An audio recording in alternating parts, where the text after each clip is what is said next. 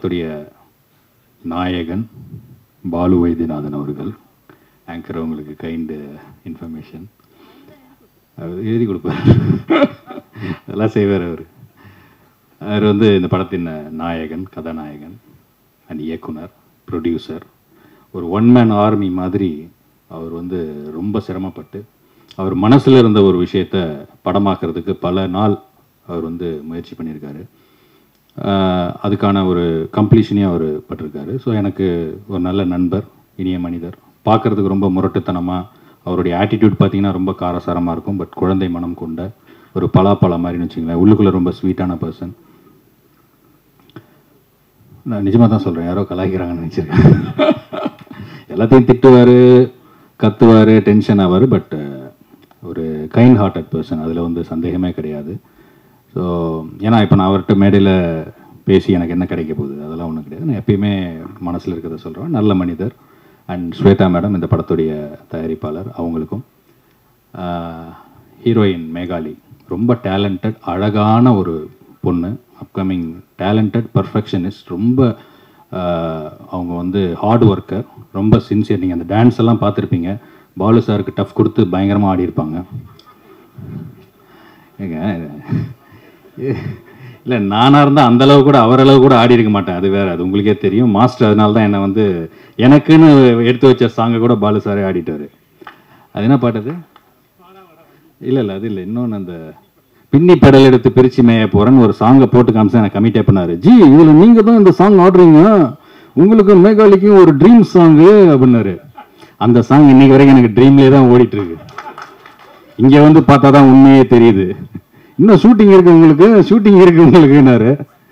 அவரே தனியாக ஷூட்டிங் போயிருக்காரு. எங்கே நம்ம உள்ளே போனால் ஏதாவது கலாச்சி கலாச்சிட போகிறோம்னு சொல்லிட்டு எங்களெல்லாம் அந்த பக்கமே வர விடல சாங் ஷூட் அப்போது ஸோ நல்லா பண்ணியிருக்காங்க. ஸோ மேகாலி வந்து ஒரு நல்ல ஹார்ஸ் ரைடர் நல்ல டான்ஸு ஃபிட்னஸ் கான்ஷியஸு பர்ஃபார்மன்ஸ்க்காக ரொம்ப ஆர்வமாக அதுக்காக டெடிகேட்டடாக கமிட்டடாக வந்து இருக்கணும்னு நினைக்கிறவங்க. எதுக்காக சொல்கிறேன்னா நம்ம ஒர்க் பண்ணதில் நிறைய அப்கமிங் டைரக்டர்ஸ் புதுசாக படம் எடுக்கிறவங்க வந்து ஒரு நல்ல ஹீரோயின் வேணும் நல்ல கோஆப்ரேட்டிவ் பண்ணி நல்ல ஒரு சின்சியரான பொண்ணுங்க வேணும்னு நினைக்கிறவங்களுக்கு நம்ம நம்ம ஒர்க் பண்ண அந்த ஒரு நண்பர்களை நம்ம ரெக்கமெண்ட் பண்ணுற மாதிரி தான் இது. ஸோ ரொம்ப சின்சியர் பெர்ஃபார்மர் அவங்களுக்கு என்னுடைய வாழ்த்துக்கள்.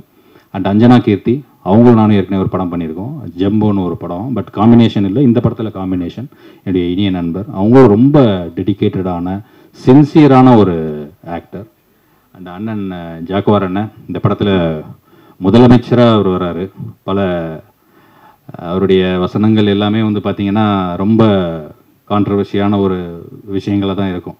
இந்த படத்தோட கதை கேட்கும்போது கூட நான் வந்து ஃபஸ்ட்டு ஃபஸ்ட்டு எப்படி வந்ததுன்னு சொன்னால் இந்த கோவிட்லாம் முடிஞ்சு யாருமே ஷூட்டிங்கே கூப்பிடல. படம் இண்டஸ்ட்ரியே அப்படியே டவுனில் இருக்குது என்னடா இது ஷூட்டிங்கே யாரும் ஆரம்பிக்க மாட்டேன்றாங்களே ஒரு ஃபோன் கூட வரலையே.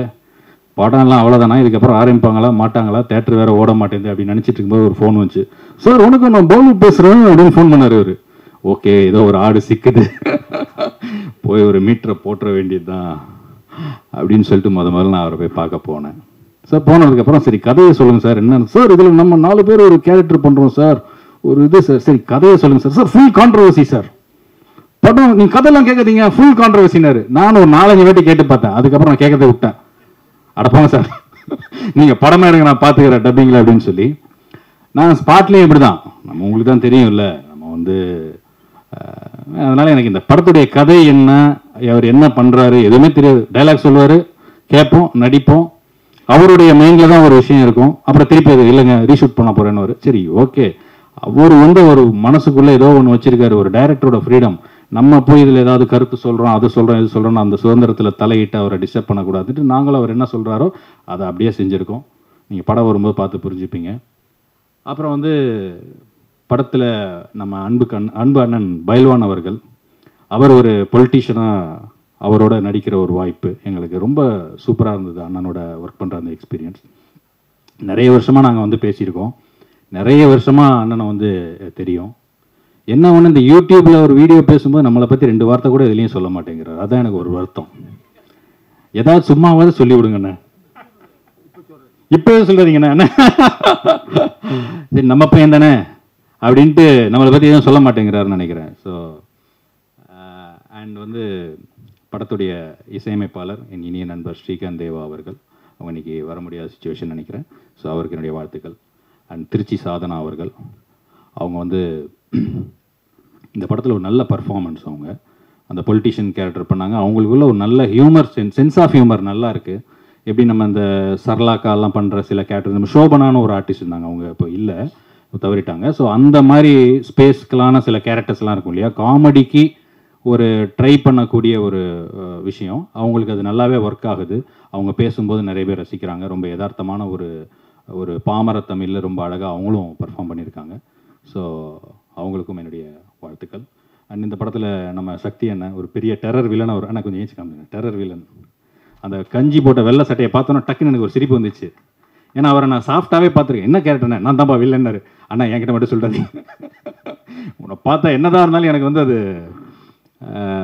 ஒரு ஒரு ரொம்ப நல்ல மனிதர்கள் வில்லன் கேரக்டர் பண்ணும்போது அது வந்து எப்படி நமக்கு அக்செப்டே பண்ணிக்க முடியாது. அந்த மாதிரி இருந்துச்சு. பட் கேரக்டராக கதைக்களமோடு வரும்போது அது நல்லாயிருக்கும் ஏன்னு சொல்கிறேன்னா நானே ஒரு படம் பண்ணியிருக்கேன். இப்போ கரான்னு ஒரு மூவி நானும் என்னுடைய இனிய நண்பர் குணாஜி பொங்கு பொங்கி எழுந்துட்டு போனார். அவர் என் படத்தில் ஒரு முக்கியமான என்னுடைய ரைட் ஹேண்ட் கேரக்டர் பண்ணார். அதில் நான் வில்லன் வில்லனாக நடிச்சிருக்கேன். பட் எனக்கே பார்க்கும்போது கூட இல்லை. என்னதான் இருந்தாலும் கொஞ்சம் வில்லனாக அக்செப்ட் பண்ணிக்கிறது கஷ்டமோ? ஏன்னா அது கேரக்டராக அந்த கேரக்டருக்கு என்ன ஜஸ்டிஃபை பண்ணியிருக்கோமோ அதை நம்ம பண்ணியிருக்கோம். இருந்தாலும் அந்த குட் பாய் இமேஜுக்குள்ளே இருக்கிறவங்க ஒரு சாஃப்ட் நேச்சராக இருக்கிறவங்க வந்து அந்த கேரக்டர் பண்ணும்போது எந்த அளவுக்கு இருக்கும் அப்படின்னு சொல்லி தெரியல. ஸோ இந்த படத்தில் என்னுடைய ரோல் அப்படி அப்படி இருக்குது அது பாலு சார் தான் சொல்லணும். அவர் எப்படி அதை பண்ணியிருக்காரு எப்படி எடிட் பண்ணியிருக்காருன்னு நாங்கள் பார்த்த வரைக்கும் நல்லா இருக்குது என்ன சார் வந்திருக்கா? And master and Sabari sir ரொம்ப முக்கியமாக படத்துடைய போஸ்ட் ப்ரொடக்ஷன் ஃபுல்லாக அவங்களுடைய இதில் தான் பண்ணது. ரொம்ப இனிய பண்பாளர்.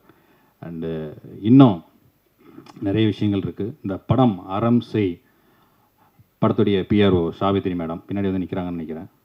சொல்லட்டும்? சொல்லு. அவங்களுக்காக தான் நான் மெயினாக இன்றைக்கி வந்தேன். ஏன்னா ரொம்ப நாள் கழிச்சு அவங்க ஒரு படம் நம்ம என்னோட படம் வருது நான் பிஆர்ஓ பண்ணுறேன் நீங்கள் வரலனா எப்படி அப்படின்னாங்க. இன்னைக்கு கொஞ்சம் கமிட்மெண்ட்ஸ்னால என்னால் வர முடியாத சுச்சுவேஷனாக இருந்தது. அதனால தான் லாஸ்ட் மினிட்டாக வந்தேன். பட் அவங்களுடைய அந்த ஒரு அன்பான அழைப்பை ஏற்று நான் இன்றைக்கி வர வேண்டியதாக இருந்தது. ஸோ அவங்களுக்கு என்னுடைய நன்றி. அண்டு இணை இயக்குனராக இந்த படத்தில் ஒர்க் பண்ண இயக்குனர் ஜீவான ஜீவரத்னம் சார் அவர்கள்.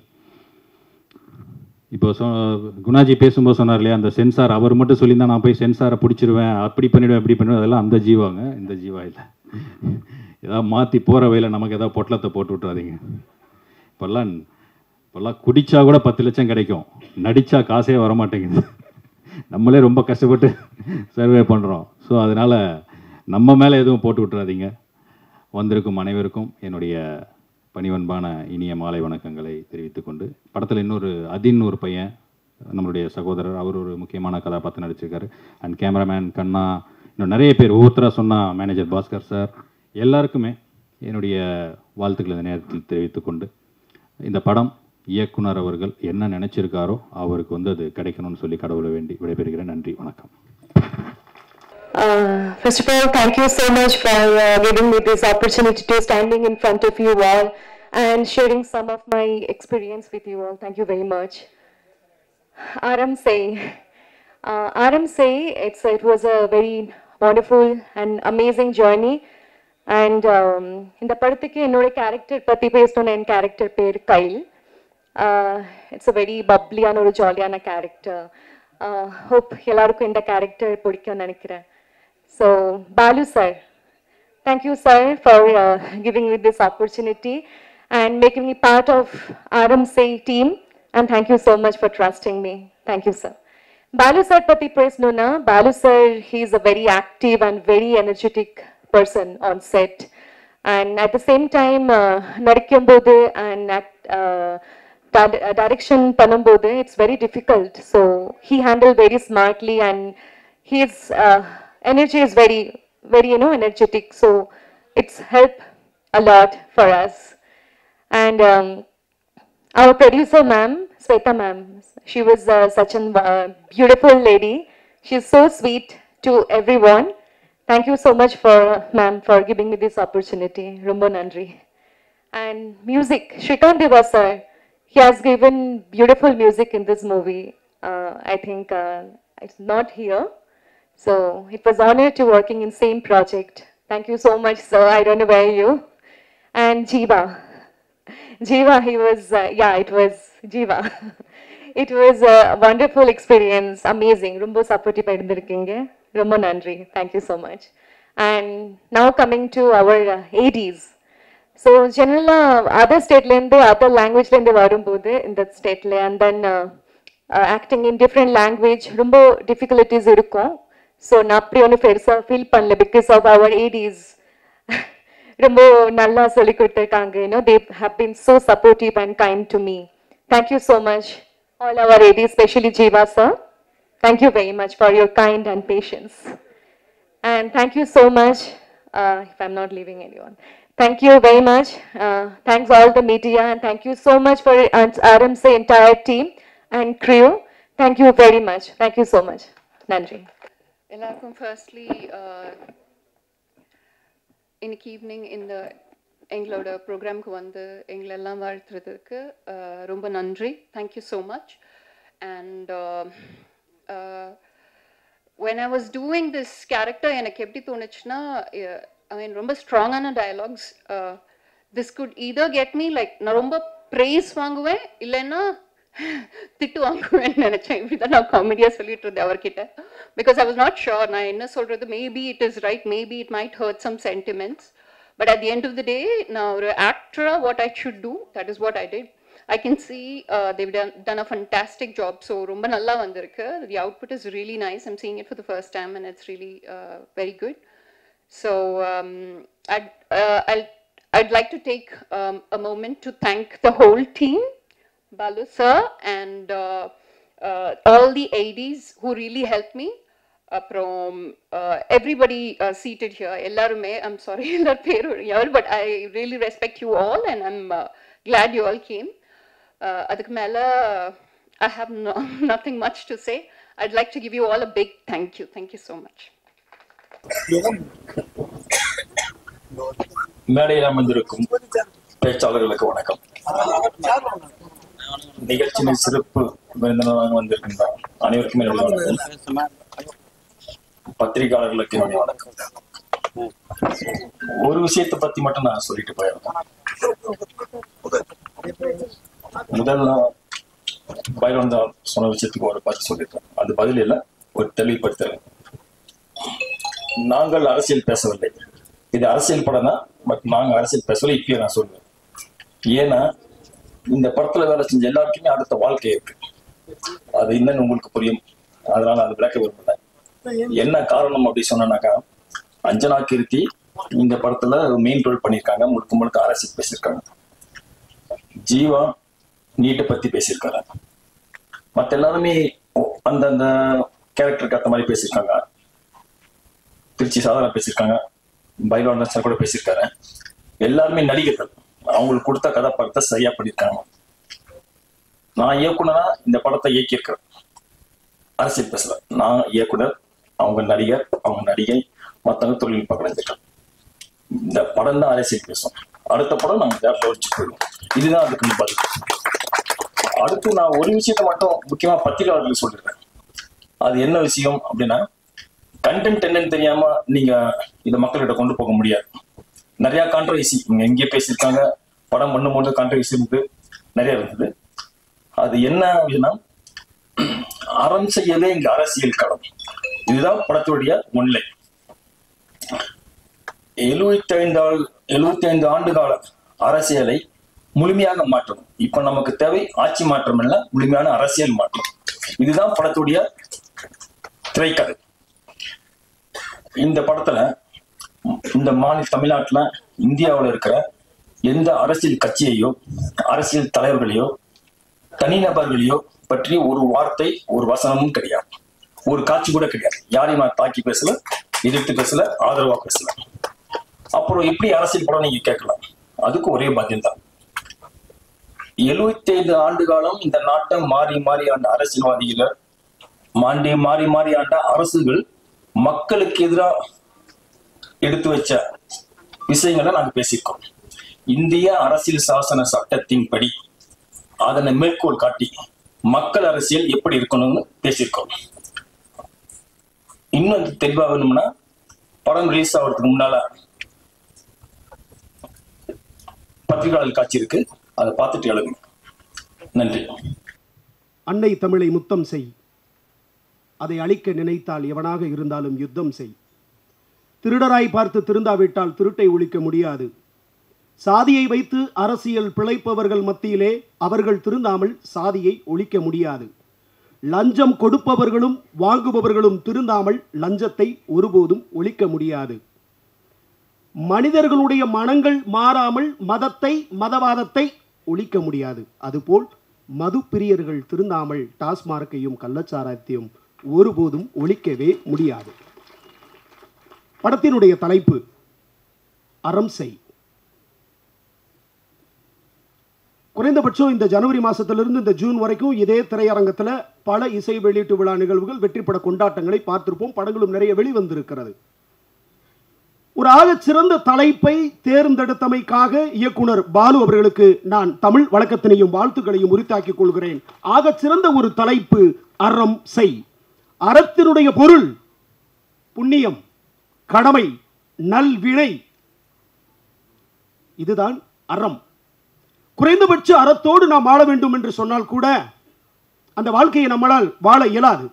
முதலிலே இந்த படத்தினுடைய இயக்குனர் அவர்களுக்கும் படத்தினுடைய தயாரிப்பாளர் அவர்களுக்கும் என்னுடைய அழைப்பினை ஏற்று வருகை தந்திருக்கின்ற பாசிசத்தினுடைய பிஜேபியினுடைய வில்லி சுந்தர வள்ளி அவர்களுக்கும் மாஸ்டர் மகே மாஸ்டர் ஜாக்வார் தங்கம் அவர்களுக்கும் என் அன்பிற்குரிய நண்பர் ஜீவா அவர்களுக்கும் பெருமதிப்பிற்குரிய டைமண்ட் பாபு சார் அவர்களுக்கும் மேடையில் உள்ளிட்ட கதாநாயகிகள் திருச்சி சாதனா பணிபுரிந்த தொழில்நுட்ப வல்லுநர்கள் குறிப்பாக நான்கு பாடல்களை முத்தாக கொத்தாக தந்திருக்கின்ற அண்ணன் கவிஞர் சிநேகன் அவர்களுக்கும் தேன்மொழி தாஸ் ஆக சிறந்த எழுத்தாளர் அவர்களுக்கும் படக்குழுவில் பணிபுரிந்த அத்துணை பேருக்கும் இதிலெல்லாம் தாண்டி பத்திரிகை துறை நண்பர்களுக்கும் ஊடகத்துறை நண்பர்களுக்கும் பிஆர்ஓ யூனியனுடைய தலைவர் அண்ணன் விஜய் முரளி அவர்களுக்கும் பெருதுளசி பழனிவேல் மற்றும் உள்ளிட்ட அத்துணை நண்பர்களுக்கும் என் அன்பின் வணக்கங்களை உரித்தாக்கிக் கொள்கிறேன். படத்தின் தலைப்பு ஆக சிறந்த தலைப்பு பதையினுடைய படத்தினுடைய கதை அம்சம் இன்றைய சமூகத்திற்கு தேவையான ஒரு அரசியல் கருத்தினை அது ஆளும் கட்சி அது எதிர்கட்சி எந்த கட்சியாக இருந்தாலும் நேர்பட பேசுகின்ற நெற்றியில் துப்பாக்கியை வைத்தது போன்று தோட்டா வெடிப்பது போன்று அற்புதமான வசனங்களை ஆகச் சிறந்த எழுத்துக்களால் தனது வலிமையான போர்க்குணத்தினால் எழுதியிருக்கின்ற பாலு அவர்களுக்கு இந்த படம் நிச்சயமாக வெற்றி பெறும்.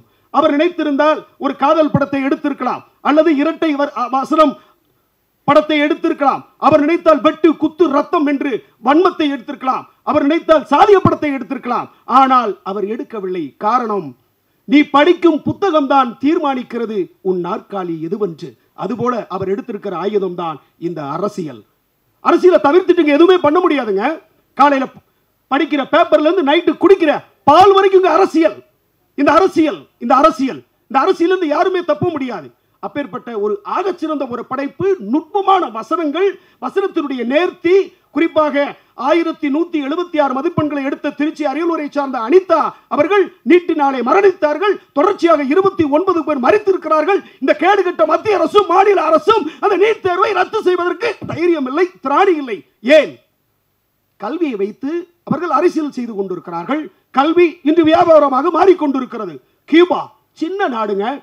அந்த நாட்டினுடைய முக்கியமான தத்துவம் அந்த நாட்டினுடைய முக்கியமான கோட்பாடு அரசு பள்ளிகளும் அரசு மருத்துவமனைகள் மட்டும்தான் இருக்கும். ஒரு தனியார் மருத்துவமனையோ தனியார் கல்லூரியோ தனியார் பள்ளிக்கூடமோ கியூபாவிலே கிடையாது. ஆனால் எல்லா வளமும் இருக்கின்ற தமிழ்நாட்டிலே. எத்தனை எத்தனை ஆட்சி மன்னர்கள் இருந்த அந்த காலத்திலே ஒரு தமிழக அரசு தமிழக பள்ளிக்கூடங்களை சீராக சிறப்பாக அதை கொண்டு வர அவர்களால் இயலமில்லை. காரணம் அது அரசியல். அரசினுடைய நுட்பம் இந்த புள்ளியில் அவர்களை அப்படி நகர்த்தி கொண்டிருக்கிறது. அந்த வகையிலே இயக்குனர் பாலு அவர்களுக்கு நான் சிறந்தாழ்ந்த வழக்கங்களை உரித்தாக்கிக் கொள்கிறேன். தோழர் ஜீவா அவர்கள் பேசினார். சென்சாரை பத்தி. சென்சார்ல நாற்பத்தி இரண்டு இடத்துல கட்டு கொடுத்ததுக்கு சென்சார் யார்? சென்சார்.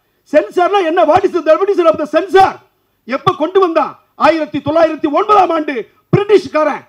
ஏன் பிரிட்டிஷ்காரன் கொண்டு வந்தான் அப்படின்னா அடக்குமுறை ஒடுக்குமுறை. இங்க மக்கள் யாரும் போராட முடியவில்லை. போராடினால் அடித்து நொறுக்குவது. அடுத்து எழுத்தின் மூலமாக வந்தார்கள்.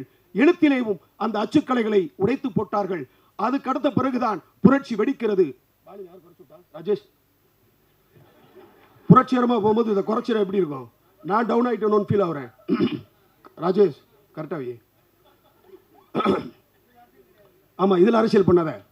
புரட்சிகரமா அந்த அச்சுத்தாள்களை முடக்கினார்கள். அதுக்கு பிறகு இவர்கள் எந்த வகையிலே போராட்டத்தை எடுக்க வேண்டும் என்று சொல்லி காணொளி வடிவாக வீடியோ காட்சிகளின் மூலமாக பிரிட்டிஷ்காரனுடைய ஏகாதிபத்தியத்தையும் அடக்குமுறைக்கும் எதிராக படத்தை எடுத்து அதை வெளியிடும் பொழுது டாக்குமெண்ட்ரியாக புரட்சி தீ பற்றி எரிந்தது விடுதலை பிறந்தது. அதற்கு பிறகுதான் சுதந்திரத்துக்கு பிறகு ஆயிரத்தி தொள்ளாயிரத்தி ஐம்பத்தி இரண்டாம் ஆண்டு சினிமாட்டோகிராஃப் ஆக்ட் என்கின்ற ஒரு சட்டத்தை கொண்டு வந்து பிரிட்டிஷ்காரர்கள் அதை அமுல்படுத்தினார்கள். நம்மளுடைய அடக்குமுறையை இப்படி வெட்ட வெளிச்சம் போட்டு காட்டுகிறார்களே இனி இந்த படம் இப்படி வெளியே வரக்கூடாது.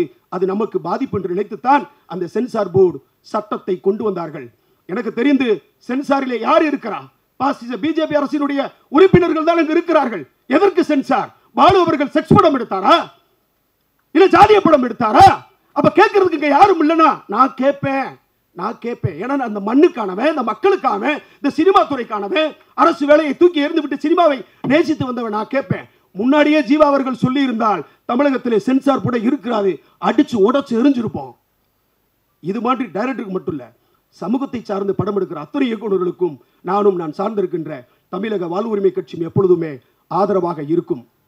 நிறைய பேசணும். ரெண்டு விஷயத்த சொல்லிட்டு நான் முடிச்சிடுறேன். எனக்கு நிறையா பேர் இருக்காங்க. திருச்சி சாதனா அவர்களே நீங்கள் வந்திருப்பது எனக்கு எல்லையில்லா மகிழ்ச்சி.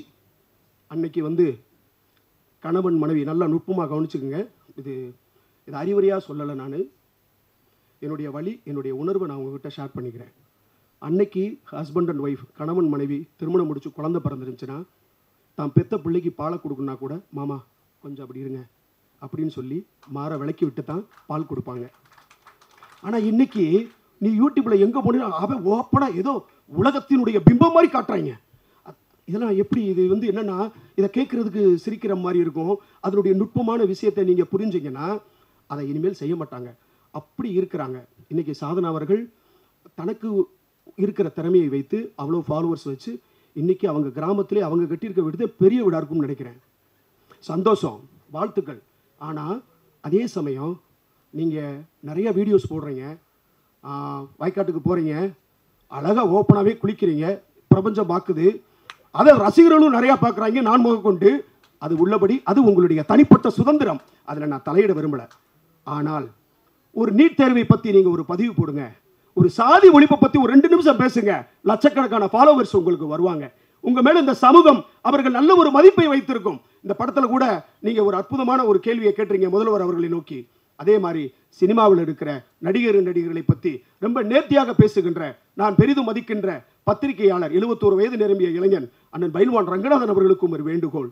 நீங்கள் இங்கே இருக்கக்கூடிய விஷயங்களை ஆணித்தரமாக அப்பட்டமாக நீங்கள் சொல்லுவீர்கள் சொல்லுகிறீர்கள். அது சினிமாவில் இருக்கிறது அதை திருத்தணும். நான் அதை திருந்துறதுக்கு தான் நான் சொல்கிறேன் இது நான் போய் பார்க்கல. நான் கேள்விப்பட்டதை சொல்கிறேன் அதுக்கு ஆதாரம் இருக்கு அப்படின்னு சொல்கிறீங்க ஓகே உள்ளபடி ரைட்டு இருக்கட்டும். ஒரு டிபார்ட்மெண்ட்டில் வேலை பார்த்த ஒரு அதிகாரி. கொஞ்சம் அறம் இருக்கணும். ஏன்னா இந்த படத்தின் தலைப்பு அறமாக இருக்கிறதுனால அறம்னா என்னன்னு நான் சொல்லித்தான் ஆகணும். நான் எல்லாரும் போய் வந்துட்டு படம் நல்லா இருக்கு சூப்பராக இருக்குன்னு சொல்லிட்டு போகிறதுக்கு நான் வரல. நான் அப்படி ஆள் கிடையாது. நான் சாப்பாட்டுக்காக சண்டை போடுற ஆள் இல்லை. சாவுக்காக சண்டை போடுற கூட்டத்திலேருந்து வந்தவன். அதனால நான் சொல்லணும். அதனால என்னுடைய இது தாழ்மையான வேண்டுகோள். இப்போ கள்ளச்சாராயம். 51 பேர் செத்தாங்க. அதை பத்தி ஒரு வீடியோ போடுங்க. அதை பத்தி ஒரு விழிப்புணர்வை கொடுங்க. சமூகம்னா என்ன? நீ நான் டீ விற்கிறவன் காப்பி விற்கிறவன் குப்பை பொறுக்கிறவன் டாக்டர் இன்ஜினியர் எல்லாமே சமூகம் தான் இந்த சமூகத்துக்குள்ளதான் சினிமாவும் இருக்கு. ஆக சினிமாவில் நீங்க களை எடுக்கிறீங்க. அதே மாதிரி அரசியலையும் நீங்க களை எடுங்க. இன்னும் உங்களை நிறைய பேர் நேசிப்பாங்க. ஏன்? உங்க டிபார்ட்மெண்ட்லேயே டிஎஸ்பி விஷ்ணு பிரியா மேலிடத்தில் கொடுத்த டார்ச்சர்னால தற்கொலை பண்ணிக்கிட்டாங்க. அந்த கேஸ் சிபிஐக்கு மாறுச்சு. இன்னைக்கு வரைக்கும் காவல்துறையில் வேலை அவங்களுக்கு நீதி கிடைக்கல. அது எப்படி நீதி கிடைக்கும்? ஐஐடி காலேஜ் ஃபாத்திமா பரந்தாமன்ற பார்ப்பன ப்ரொஃபஸர் டார்ச்சர் பண்ணி தமிழ்நாடு பாதுகாப்பான நாடுன்னு சொல்லி கேரளாவுல இருந்து நான் பிள்ளைய அனுப்புனாங்க. அதுக்கு இன்னும் நீதி கிடைக்கல. ஏன் வேங்கவே இல்லை. குடிக்கிற தண்ணியில் பிய்யுங்க வார்த்தை சொல்லும் போது எவ்வளோ அசிங்கமா இருக்கு. எவ்வளோ கூச்சப்படுறோம். மலம் கொட்டுனாங்க. இன்னைக்கு வரைக்கும் அதுக்கு தீர்வு கிடச்சிச்சா? கிடைக்காது கிடைக்கவும் மாட்டாங்க. இதெல்லாம் பற்றி நீங்க ஒரு காணொலியிலே பேசுகிற பொழுது இன்னைக்கு ஏன் நான் உங்களை வலியுறுத்துறேன்னா இங்க படிச்சவன் சொன்னா எவனும் கேட்கறது இல்ல ஆனா நடிச்சவன் சொன்னா கேட்கிறியான் இந்த நாளைய தீர்ப்பேன்றான் நாடே உங்க இல்லைன்றான் டேய் என்னடா சொல்றீங்க? போராட்ட களம் வேறு. அறம் செய். இந்த அறத்தினுடைய மேன்மை. அறம்னா என்ன? எப்படி வாழ்ந்தார்? ஏபிஜே அப்துல் கலாம் ஐயா. அறத்தின் நிலை கொண்டு வாழ்ந்தார். பதவி விலகுகிறார். சூட்கேஸ் எடுக்கிறாங்க. எல்லா பெட்டியும் எடுக்கிறாங்க. அந்த வேலையாளை சூட்கேஸை தொடங்க சொல்றாரு. ஐயா நான் தொடச்சிட்டேயான்னு சொல்கிறான் மறுபடியும் நல்லா தொடங்கன்றாரு. தொடச்சிட்டேன் அப்படின்றாரு. இன்னும் நல்லா தொடப்பா அப்படின்றாரு. ஏன் அப்படி? சுத்தமாக தானே இருக்குது இன்னும் தொடக்க சொல்லிக்கிட்டே இருக்கீங்க. அப்படின்னு சொல்ல ஐயா அப்துல் கலாம் சொன்னார். இங்கேருந்து போகும்போது என் பெட்டியில் ஒரு தூசி கூட ஒட்டியிருக்க கூடாது. இதுதான் அறம். அவர் நினச்சிருந்தா ஃப்ளைட்டில் போயிருக்கலாம். ஏ, இதான் அறம். அறத்தினுடைய பண்பு என்ன? அறத்தினுடைய கேரக்டர் ஸ்டேஷன் என்ன? அந்த மாரலிட்டி என்ன சொல்லுது? நல்ல கண்ணு ஐயா. எத்தனை பேருக்கு தெரியும்? இன்றைய இருக்கக்கூடிய ஜெனரேஷனுக்கு நல்ல கண்ணுனா தெரியாது. அவருடைய எண்பத்தி நாலாவது பிறந்தநாள் விழாவிற்கு எண்பத்தி நாலு லட்சம் ரூபாய் தூக்கிட்டு போய் அந்த கட்சி கொடுக்குது. அப்படியே அந்த எண்பத்தி நாலு லட்சத்தை வாங்கி மறுபடியும் கட்சிக்கே நிதியா கொடுத்த மனுஷங்க இன்னைக்கு ஒரு வார்டு கவுன்சிலர் பத்தாயிரம் கோடி வச்சிருக்கான் ஐநூறு கோடி வச்சிருக்கான். எது அறம்? நிறைய பேசணும். இந்த அறம் நிச்சயமாக வெல்லும். படக்குழுவினர் அத்தனை பேருக்கும் என்னுடைய வாழ்த்துக்கள். இனிமேல் சென்சார் சம்பந்தமாக எந்த பிரச்சனை இருந்தாலும் சொல்லுங்க. வழக்குகளுக்கு அஞ்சுபவன் நான் கிடையாது. பிறப்பு ஒரு முறை இறப்பு ஒரு முறை அந்த இறப்பு அர்த்தமுள்ளதாக இருக்கணும். அந்த இறப்பு நம்மை நேசித்து வர வேண்டும். உங்களுக்கும் என்னப்பா போமா முடிச்சிடும் நானே முடிச்சிடும் எனக்கு தெரியும் டியூரேஷன் தெரியும். நான் எல்லையை தாண்ட மாட்டேன். அனைவருக்கும் என்னுடைய மனமார்ந்த வாழ்த்துக்கள். மாஸ்டர் உங்களுக்கும் வாழ்த்துக்கள். படம் வெற்றி பெற என்னுடைய நெஞ்சம் நிறைந்த வாழ்த்துக்கள். எந்த ஒரு பிரச்சனையாக இருந்தாலும் சொல்லுங்கள். நானும் நான் சார்ந்திருக்கின்ற தமிழக வாழ்வுரிமை கட்சியும் அண்ணன் முத்தமிழன் மேல்முருகன் அவர்களும் எப்பொழுதும் உங்களுக்கு உடன் இருப்பார்கள். அறம் வெல்லும். பாலு சார் வெல்வீர்கள். நன்றி வணக்கம். என்னை வாழ வைத்துக் கொண்டிருக்கிற யூடியூப் நேயர்களுக்கு என்னுடைய நன்றியும் வணக்கம். என்னுடைய உறவுகளே ஒரு நாள் ஃபோன் வந்தது. நான் தான் டைரக்டர் பாலு வைத்தியநாதன் பேசுகிறேன் அப்படின்னு. உங்களை நான் கேள்விப்பட்டதே இல்லைன்ட்டு. அவருக்கே ஷாக்காக போச்சு. இல்லை சார் நான் டைரக்டர் தான் பண்ணார் என்ன விஷயம்னு? இல்லை நீங்கள் ஒரு கேரக்டர் பண்ணணுன்னாரு நான் யூடியூப்பில் பேசிகிட்டு இருக்கேன் உங்களுக்கு தெரியுமா? அப்படின்னு. தெரியும் அப்படின்னாரு. தெரியும் தான் கூப்பிட்ருக்கேன்னாரு அதே மாதிரி இவர்கிட்ட ஒரு நல்ல பழக்கம் என்னென்னா இந்த டயலாக் என்னங்கிறத முதல்ல வாட்ஸ்அப்பில் அனுப்பி விட்ருவார் அதே மாதிரி சமீபத்தில் ரெண்டு டிவி சீரியல் நடித்தேன் அவங்களும் அனுப்பி விட்டுருந்தாங்க. இதனால ஒருத்தருக்கு வேலை போயிடுது அசோசியேட் டைரக்டர் வந்து டயலாக் சொல்லிவிட்டு போகிறல அவருக்கு வேலையெல்லாம் போயிடும் அந்த டைலாக்கை என்ன அவர் என்ன எழுதியிருக்காரோ அப்படியே நான் சொன்னேன். ஆனால் அப்போவே சென்சார் கட்டு வரும்னு எனக்கு தெரியும். நான் அவர்கிட்ட சொல்லலை. ஏன்னா எல்லா நடந்த விஷயங்களே அவர் வசனமாக்கியிருந்தார். அதனால் இது இந்த ம- மந்திரியை குதி குறிக்கும் இது இந்த மந்திரியை குறிக்கும் அப்படிங்கிறது தெரிஞ்சு போச்சு. அது மட்டும் இல்லை அவர் போஸ்டரில் மிகப்பெரிய பொய்யை சொல்லியிருக்காரு. யாரும் இந்த படத்தினுடைய போஸ்டரை பற்றி பேசவே இல்லை. ஏன்னா ஒருத்தர் பாரதிய போஸ்டர் போட்டிருந்தாரு. கீழே நாங்கள் அரசியல் பேசவில்லை இன்னும் போட்டிருந்தாரு. முழுக்க முழுக்க இது அரசியல் பேசுகிற படம். ஏன் அப்படி ஒரு க கருத்துன்னு எனக்கு புரியலை. ஏன்? நாங்கள் அரசியல் பேசுகிறோம் போடுங்களேன். ஆ எதுக்குன்னா நீங்கள் அவ்வளோ துணிச்சலாக நாட்டில் உள்ள நடப்புகள் அது ஆளுங்கட்சியாக இருந்தாலும் எதிர்கட்சியாக இருந்தாலும் சரி த- மாநில அரசாக இருந்தாலும் சரி மத்திய அரசாக இருந்தாலும் சரி தாக்குறீங்க நாங்கள் ஏன் அரசியல் முழுக்க முழுக்க அரசியல் பேசிவிட்டு நாங்கள் அரசியல் பேசவில்லை என்று சொல்கிறீங்க இதில் எனக்கு முன்னால் ஒருத்தர் இதில் என்னை பற்றி நீங்கள் பேசவே இல்லைன்னாரு. நான் இன்னைக்கு அவரை பற்றி நல்ல தகவல் சொல்லியிருந்தேன். ஜீவாவை பற்றி எனக்கு சொந்தக்காரர் அவர். இல்லை இன்னொரு விஷயம் இருக்குது அவர் ஒரு அரசியல் கட்சிக்கு பொதுச் செயலாளர். அது உங்களுக்கு தெரியுமா? யாருக்காவது தெரியுமா?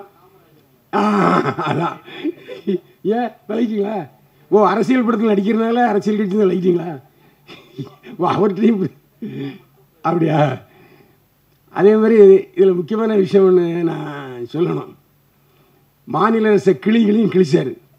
அவனு அவருடைய தலைவரே திமுக சார்பில் கூட்டணியில் ஜெயித்தவர் இந்த பேச்சுக்கள்லாம் முதலமைச்சருக்கு போனால் என்ன ஆகும்? நீங்கள் வாழ்வுரிமை கட்சி தலைவர் திமுக ஆதரவில் ஜெயிச்சவர்.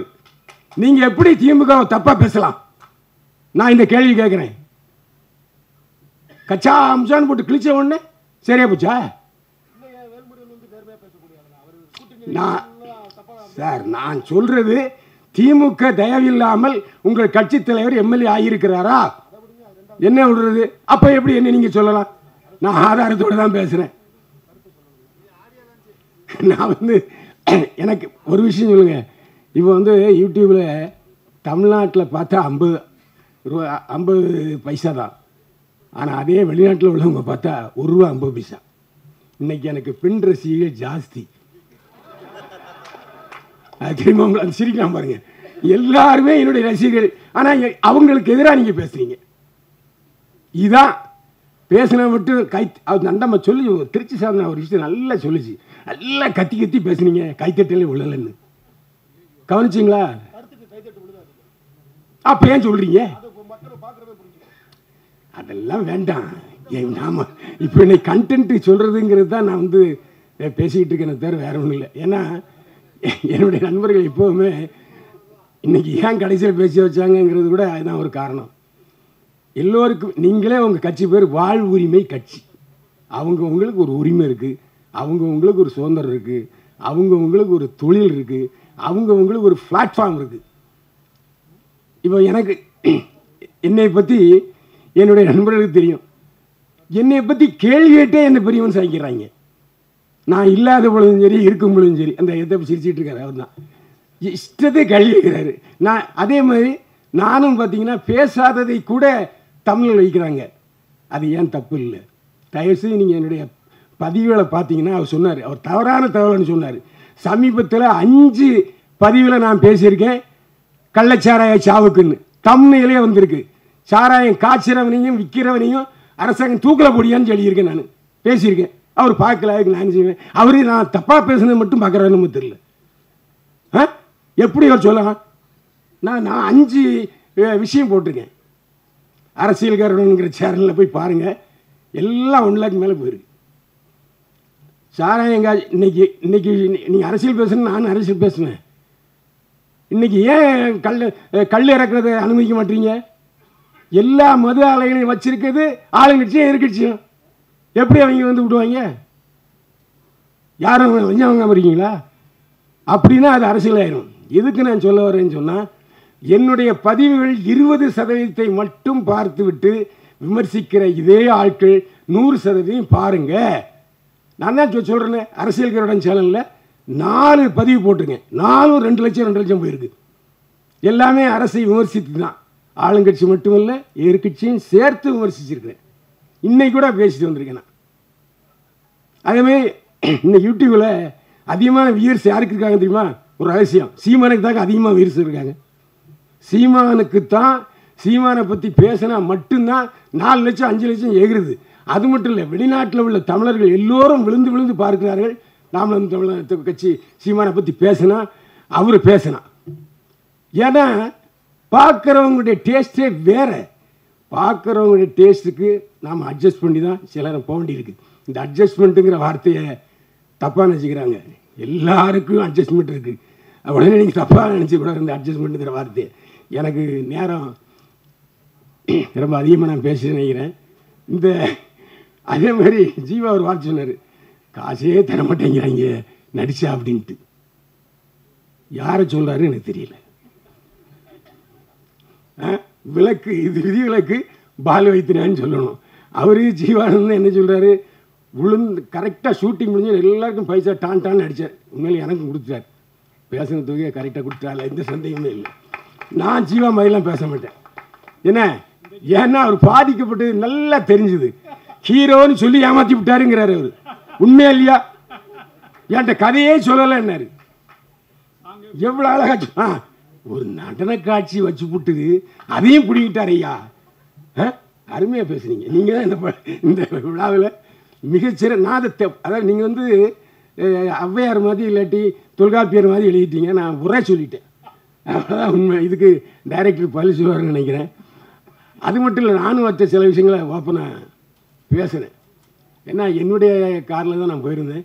என்னுடைய கார் தான் அந்த அரசியல்வாதி கேரக்டரில் நடித்தது அந்த அரசியல்வாதி கேரக்டர்லையும் ஒரு இழுத்து விடாமல் பார்ப்பார் கமா போட்டால் அந்த கமா போடணும். அந்த மாதிரியெல்லாம் ரொம்ப ஸ்ட்ரிக்டான ஒரு டேரக்டரை பார்த்து இவர்தான் இப்போ தான் பார்த்தேன். என்னைய ஒரு எழுத்து கூட மாற்ற விட மாட்டார். சாவடிச்சிட்டார் உண்மையிலே. ஏங்க ஒரு டேரக்டர் அதாவது இந்த அதாவது அட்ஜஸ்ட்மெண்ட்டுங்கிறது அவர்கிட்ட இல்லவே இல்லை. அதான் உண்மை. ஏன்னா இப்போ எனக்கு தெரிந்த ஃப்ளோவில் தான் வரணும்ல. உண்மை. அண்ணா அவங்களே அக்காவே தலையாட்டுறாங்க. எதுக்கு நான் சொல்கிறேன்னா ஒரு அமிக்கபிள் பர்சனை இல்லை. ஏன்னா இந்த டயலாக்கு எங்க இப்படி கொஞ்சம் மாற்றிக்கலாமா நோ நோ நோ இருக்கிறது பேசு ஆகா நானும் ஜீவா வந்து சிலரும் ஜீவா என்னை சமாதானப்படுத்துவார். அண்ணே கொஞ்சம் அமைதியாக இருங்கண்ணே. அன்னைக்கு கொஞ்சம் அமைதியாக இருங்கண்ணே. இப்படி தான் அவர் சொல்லுவார். இதுக்கு அதனால் அந்த ஒரு நாள் ஷூட்டிங் நடந்துச்சு. அந்த ஒரு நாள் ஷூட்டிங்லேயே நிறைய அசிஸ்டன்ட் டேரக்டர்ஸை பார்த்தேன். ஒரே ஒருத்தர் மட்டும் நான் வந்து அது ஜீவனந்தன் சார் தான் நினைக்கிறேன். அவர் தான் என்கிட்ட வந்து சொன்னார். அவர் தான் பாவம் வயசான ஆளுமே தெரிஞ்சுது. அவரும் சொன்னார் சார் டேரக்டர் என்ன சொல்கிறாரோ அதை கேட்டுங்க சுத்தம். அப்படின்ட்டு அதேமாரி மேனேஜர் மட்டும் பழைய ஆள். அவர் மட்டும் அண்ணே இப்படி தானே ஏ இப்படி தானே அப்படின்ட்டு ரைட் ஓகே ஏன்னா நல்ல வேளை மேனேஜர் மட்டும் பழைய ஆளை ஒருத்தர் வச்சுருந்தார். ஆனால் அந்த படத்தில் நான் ஷூட்டிங் போகும்போது பார்த்தீங்கன்னா ஜீவாவை தவிர வேறு யாருமே எனக்கு தெரிஞ்சமும் கிடையாது. ஹீரோயினை அதுக்கு முன்னே பார்த்ததே இல்லை. அதுக்கப்புறம் சாப்பிட்டுட்டு இருக்கும்போது பார்த்தாங்க ஏதோ சப்பாத்தி ஏதோ சாப்பிட்டு இருந்தாங்க. ஜீவா பொறுத்தவரை எனக்கு எப்படின்னா முப்பது வருஷம் முப்பது வருஷம் அதிகம் வரும். இருபத்தஞ்சி வருஷம். அதாவது இன்றைக்கு லொல்லு சபா சந்தானம் ரிலீஸ் ஆகி போனாரோ அந்த இடத்துக்கு வந்தார் ஜீவா. ஏன்னா இவர் வந்து ஆக்சுவலாக வந்து ரஜினியுடைய ரசிகர். ரஜினி மாதிரியே பேசுவார் ரஜினி மாதிரியே நடிப்பார். ஆனால் அந்த லொல்லு இதில் பண்ணும்போதும் சரி அதுக்கப்புறம் ராஜ் டிவியில் பண்ணும்போதும் சரி நான் அவரோட பயணிச்சிருக்கிறேன். நல்ல ஒரு அதாவது இங்கே எப்போவோ கதாநாயகன் ஆயிருக்க வேண்டிய ஜீவா இன்னும் அந்த முட்டுக்கட்டையிலே இருந்துக்கிட்டு இருக்காரு. அவர் வெற்றி பெற நான் வாழ்த்துக்கிறேன் மீண்டும் சந்திப்போம். வாழ்க வளமுடன். நம்ம நல்லவனா இருக்கணும். நல்லவனா இல்லைன்னா ஒண்ணும் இல்லை. இன்னைக்கு வந்து பாருங்க நம்ம எல்லார் குடும்பமும் வந்து சாப்பாடு வந்து நம்ம வீட்டுல ஆக்குறது இல்லை மேக்சிமம் ஒரு தொண்ணூறு பர்சன்ட் ஆக்குறது அந்த வீட்டுல பாசம் இருக்காது. தனித்தனி குடும்பமா தனித்தனி ரூம் தனித்தனி செல்போன் எப்படி சாராயம் மிகப்பெரிய கொடுமையோ அதை விட மிகப்பெரிய கொடுமை செல்போன் படம் எல்லாம் செல்போன் தான் இப்ப கூட பார்ப்பாங்க. ஏதோ ஒண்ணு பார்ப்பாங்க. செல்போன்ல என்ன இருக்கு? நமக்கு எதுனா அது இது இருக்கா? எல்லாருக்கும் யாரை பிடிக்கும் ரொம்ப? அப்படின்னு நான் எல்லாரையும் கேட்பேன். எல்லா காலேஜுக்கும் நான் சீஃப் பேச கேட்பேன். எல்லாம் எங்க அம்மா பிடிக்குமா? ஒருத்தன் எங்க அப்பா பிடிக்குமா? எல்லாம் டீச்சரை பிடிக்குமா? ஒன்ன பிடிக்கும்டா எழுபத்தி ரெண்டாயிரம் நாடி நரம்பு இருக்காங்க நாடி நரம்பு நீ நல்லதா வச்சுக்கிட்டாக்கா உன்னை ஆஸ்பத்திரிக்கு போக வேண்டியது இருக்காது. இல்லைன்னா நீ ஆஸ்பத்திரி நாற்பது வயசுக்கு மேல ஆஸ்பத்திரியில நிக்கும். ஆஸ்பத்திரியில கியூல நிக்கணும். பதினாறு வயசு பையனுக்கு ஹார்ட் அட்டாக்கு ஏன்னா அவனால சாப்பிட முடியல. நேற்று என்னை தேடி மதுரையில் ஒருத்தர் வந்து அவருக்கு டிஃபன் வாங்கி கொடுத்தேன். டிஃபன் நான் வாங்கி கொடுத்துட்டு உள்ள போயிட்டு தண்ணி எடுத்துட்டு வந்து சாப்பிட்டு முடிச்சாரு. எப்படிங்க சாப்பிட்டேன்? குடிக்கிருக்காரு அது விஷமாயிடும். உங்களுக்கு மென்னு சாப்பிட்டீங்கன்னா தான் நம்ம கபாலத்துல இருந்த அமிலம்லாம் அமிலம்லாம் உள்ளே உள்ள போய் உடம்ப இளமையா வச்சுக்கும். அட சாகிற வரைக்கும் நோய் இல்லாமலாம் இருக்கலாயா? நூத்தி இருபது வயசு வரைக்கும் வாழ்க்கை எல்லாருக்கும். அந்த நான் நூத்தி இருபது வருஷம் சா நோய் இல்லாம இருக்கலாம்ல? அதை கூட இல்லாம யாருமே பாக்குறது இல்ல இப்ப ஒரு வீட்டுக்கு போயிட்டு வந்தேன் ஒரு ஒரு கிரக பிரசம் வீட்டுக்கு போயிட்டு வந்தேன். அந்த வீட்டுல பெரிய டிவி போட்டு அந்த குழந்தை ஒரு ஒன்றரை ரெண்டு வயசு அது டிவியில போட்டு அது வந்து டான்ஸை பார்த்து உட்காந்துருக்கு என்ன என்ன இல்ல அதை பார்க்கலாம் அது ச- வளம் அப்படிங்கிறாங்க. வாழ்க்கை அப்படி மாறி போச்சு. இன்னைக்கு வந்து திரைப்படம் இன்னைக்கு பார்த்தோம். முதல்ல நாடகம் பார்த்தோம். பாவகுத்துன்னு ஒன்று வரும். அதை பார்த்தோம். அப்புறம் நாடகம் பார்த்தோம். அப்புறம் திரைப்படம் பார்த்தோம். இன்னைக்கு வந்து டிவி வந்துச்சா? எல்லா டிவி வந்ததுக்கு அப்புறம் பாத்தீங்கன்னாக்க செல்போன் வந்தபடி எல்லாத்தையும் அழிச்சிருச்சு. டிவி பார்க்கல படம் பார்க்கறது எல்லாத்தையும் அழிச்சு நாசம் பண்ணிட்டாங்க. சோ இந்த மாதிரி நிலைமை இருக்கணும்னா நீங்க முழுதா இந்த இந்த வந்து நம்ம சாரோட அறம் செய் படம் வந்து அரசியல் எப்படி இருக்கணும் மக்கள் எப்படி இருக்கணும். இன்னைக்கு வந்து கள்ளக்குறிச்சியில வந்து அறுபது பேர் செத்துருக்காங்க. எப்படி அறுபது பேர் செத்தாங்க? போலீஸ் பக்கத்துல தான் இருந்திருக்காங்க சொல்றாங்க. எப்படி செத்தாங்க? ஏன் இவ்வளவு பேரு சாகணும்?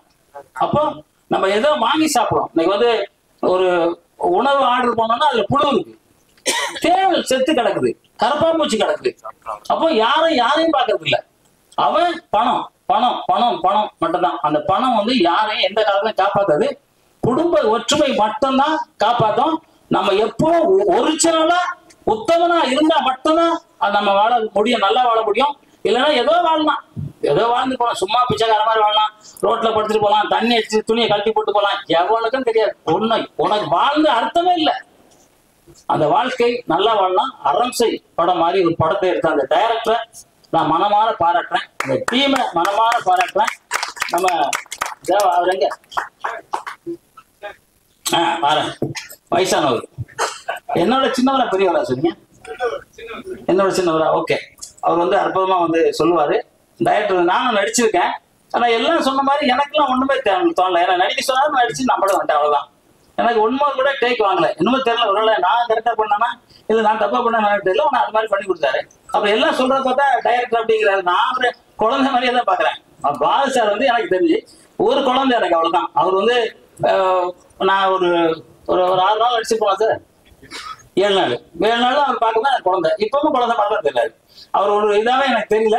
ஆனா நீங்க ஹீரோவா ஆகணும்னா உங்களுக்கு ஒரு இது இருக்கும்போது சண்டையை முறையா கத்துங்க டான்ஸை முறையா கத்துக்கிட்டீங்கன்னா உங்க அழகுக்கு மிகப்பெரிய ஹீரோவா தமிழ்நாட்டுல வர்றதுக்கு வாய்ப்பு இருக்கு. சண்டை நல்லா போடல. நான் சண்டைக்காரன் இல்ல அதனால சொன்னேன் இல்ல கத்துக்கணுங்க. இல்ல சார் இப்ப நான் ஒரு கூட ஹீரோ நினைக்கிறேன் ஏன் சண்டை பாருங்க ஒரு பைய ஃபைட்லாம் போய் எடுத்துட்டு வந்தேன். இப்போ கூட ட்ரெய்லர் போடலாமே பார்த்தேன். இப்போல்லாம் இப்போ இல்லை. ஒரு ஆரம்பிச்சுலாம் நாள் முடியட்டும் அப்படின்னு வெயிட் பண்ணிட்டு இருக்கேன். என்ன சாவித்திரி அக்கா பாக்குறாங்களே ஓகே ஆ? ஓகே பயமா இருக்கு உங்களுக்கு. சரி ஓகே சார் இந்த படம் நல்ல படம். இந்த பத்திரிகை நண்பர்கள் அனைவருமே சொன்னாங்க குணாஜி சொன்னாங்க. நீங்க தான் சொன்னீங்க.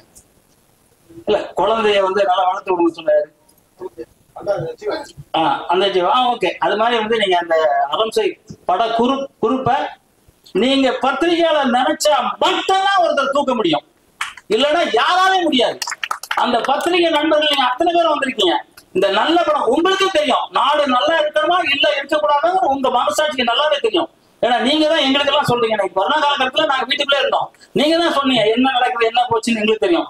நீங்க உங்க உயிரை எப்படி ராணுவம் எப்படி உயிரை துச்சமா மதிக்குதோ போலீஸ் எப்படி துச்சமா மதிக்குதோ ஃபயர் சர்வீஸ் எப்படி துச்சமா மதிக்குதோ அதே மாதிரி பத்திரிகை நண்பர்கள் அனைவரும் உங்கள் உயிரை துச்சமா நினைச்சு மக்களுக்காக செய்யற நீங்க உங்க குடும்பத்தோட நல்லா இருக்கணும். ஏன் நான் சொல்றேன்னா இன்னைக்கு ஒருத்தன் பத்திரிகையில அடிச்சான். நான் பார்த்தேன். ஒரு இதுல அடிச்சான்.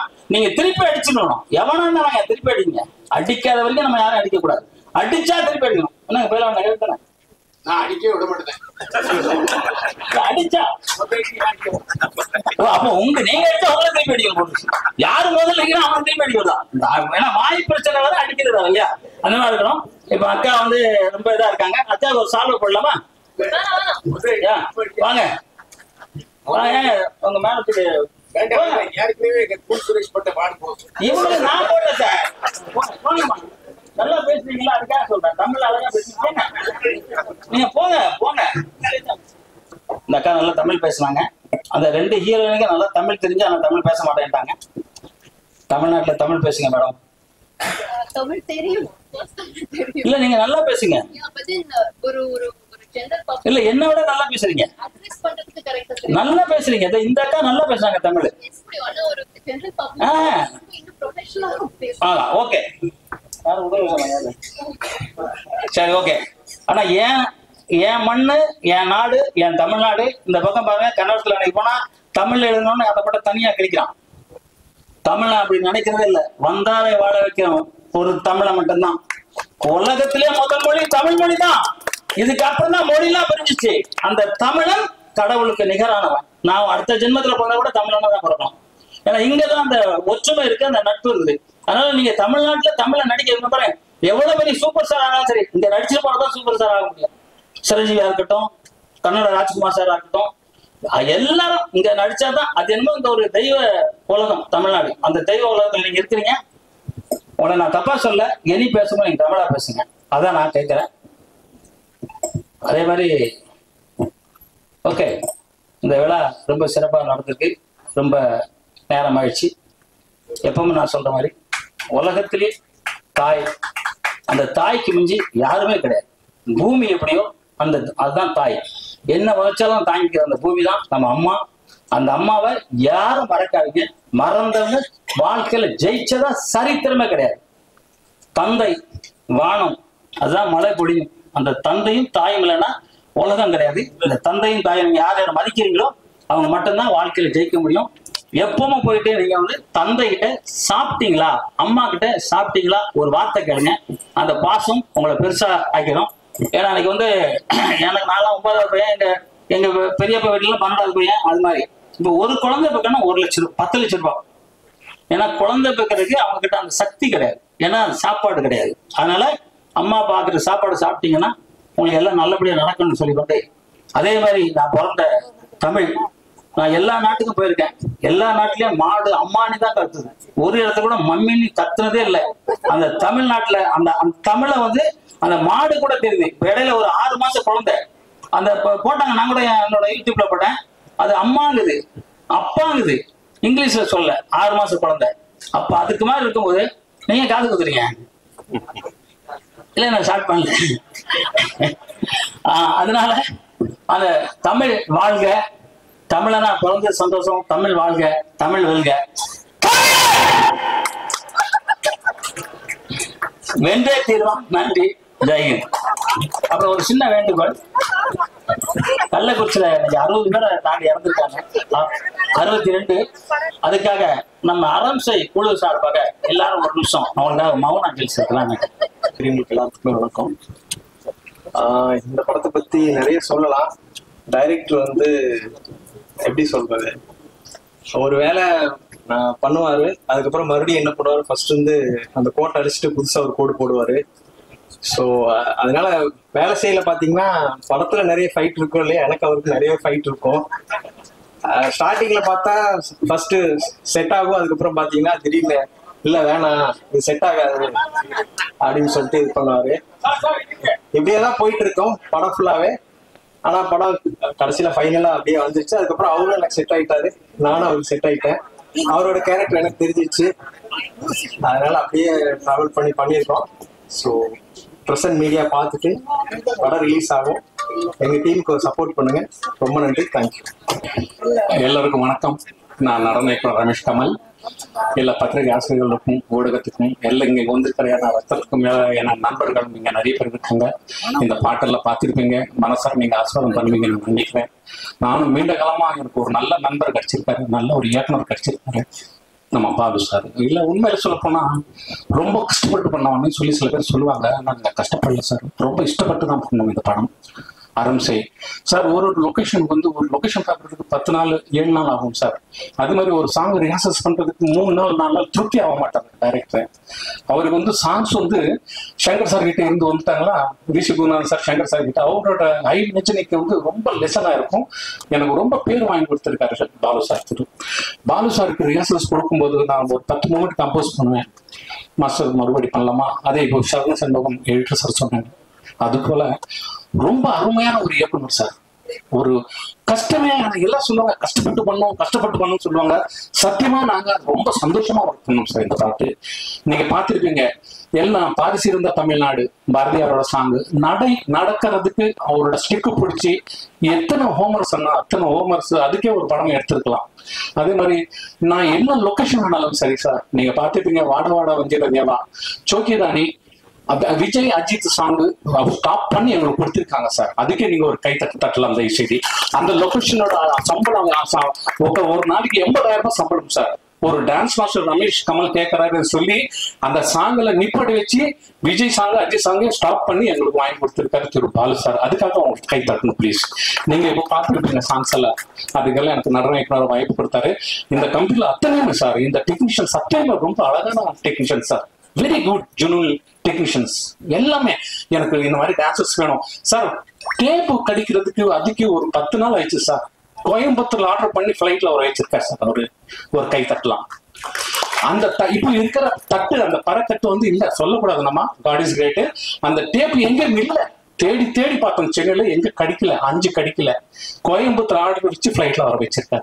வித்தின் ஃபோர் ஹவர்ஸ்ல அந்த மாதிரி எல்லா டெக்னீஷியன்ஸ் எல்லாம் நமக்கு எல்லாமே கேமராமேன் சார் சரி கண்ணன் சார் சரி சிவகுமார் சார் சரி முத்துமோகன் சார் சரி ஜீவரத்னம் சார் சரி எடிட்டர் சரண் சண்முகம் அவருக்கும் எனக்கு பிரச்சனை வந்துடும் தகராறு வந்துடும் சாங் இப்படி பண்ணலாம் இப்படி பண்ணலாம். நாங்க ரெண்டு பேரும் தகராறு பண்ணி கஷ்டப்பட்டு ரெண்டுல பண்ணி செஞ்சு டைரக்டர் சார் பாருங்க சார் சாங் எப்படி மாஸ்டர்ஜி மறுபடியும் ஸ்டார்ட் வந்து போலாமா? ஆ ஓகே போலாம். பண்ற மாதிரி. ஆனா ரொம்ப great listen to Balu sir Balu Vaijanan sir எல்லாருமே ப்ரொடியூசர்ஸ் எனக்கு எல்லாம் எது கேட்டோம் கொடுத்துருக்காங்க. இந்த தாரகை சினிமாஸ்ல எனக்கு நிறைய ஏற்பட வாய்ப்பு கொடுத்த திரு பாலு வைஜனன் சார் அவர்களுக்கும் ப்ரொடியூசர் சார் அவர்களுக்கும் டெக்னீஷியன் சார் அத்தனை பேருக்கும் என் மனதார் நன்றி. இங்க வந்திருக்கிற ஊடகம் இங்க வந்திருக்கிற பத்திரிகையாளர்களுக்கும் என்னோட ரத்தத்துக்கான ரத்தம் நண்பர்களும் பெரியவர்களுக்கு எல்லாருக்குமே என் குரு தியாகோட்டன் மாஷா அவர்களுக்கும் எல்லாருக்கும் நன்றி. தேங்க்யூ தேங்க்யூ சார் தேங்க்யூ அனைவருக்கும் வணக்கம். பத்திரிகை ஊடக நண்பர்கள். நானும் பத்திரிகை தொழில் தான் இருக்கேன் முப்பது வருஷமா இருக்கேன் பத்திரிகை தொழில ரொம்ப சந்தோஷமா இருக்கு. பாலு சார் வந்து என்ன அடிச்சு எனக்கு ஒரு இதுல ஒரு கேரக்டர் கொடுத்துருக்காரு. ஒரு அரசியல் ரவுடி கேரக்டர் ரொம்ப சிறப்பா பண்ணியிருக்கேன். பாலு சாரை பத்தி நம்ம மாஸ்டர் சொல்லிட்டு போனாங்க. அது அத்தனையும் உண்மை. அவர் கூட நான் பயணிக்கிறேன். பாலு சார் கூட நான் ஏற்கனவே ஒரு இருபத்தஞ்சு வருஷமா பயணிக்கிறேன். அவருடைய அந்த தியாக மனப்பான்மை இந்த ஷாட் இப்படிதான் எடுக்கணும்னா அப்படிதான் எடுப்பாரு. ரொம்ப டெடிக்கேஷனோட ஒர்க் பண்ணுவாரு. எனக்கு ரொம்ப சந்தோஷமா இருக்கு. இந்த படத்தின் மூலிமா எனக்கு ஒரு நல்ல ஒரு ஃபியூச்சர் இருக்கும் அப்படின்னு நான் நம்புறேன். அதே மாதிரி இங்க வந்திருக்கிற சுந்தரவல்லி மேடம் தோழர் அவங்கள வரவேற்கிறேன். ரொம்ப மகிழ்ச்சி. Master Jaguar master Pailwan sir மேடையில் இருக்கிற எல்லா பெரியவர்களுக்கும் என்னுடைய நன்றி வாழ்த்துக்கள். இந்த விழா மேடையினை சிறப்பித்துக் கொண்டிருக்கும் அனைத்து கலை பிதாக்களுக்கும் பத்திரிகை ஊடகம் மற்றும் அச்சு நண்பர்களுக்கும் இந்த விழாவை சிறப்பிக்க வந்திருக்கும் தோழர் அனைவர்களுக்கும் அது நன்றியை தெரிவித்துக் கொள்கிறேன்.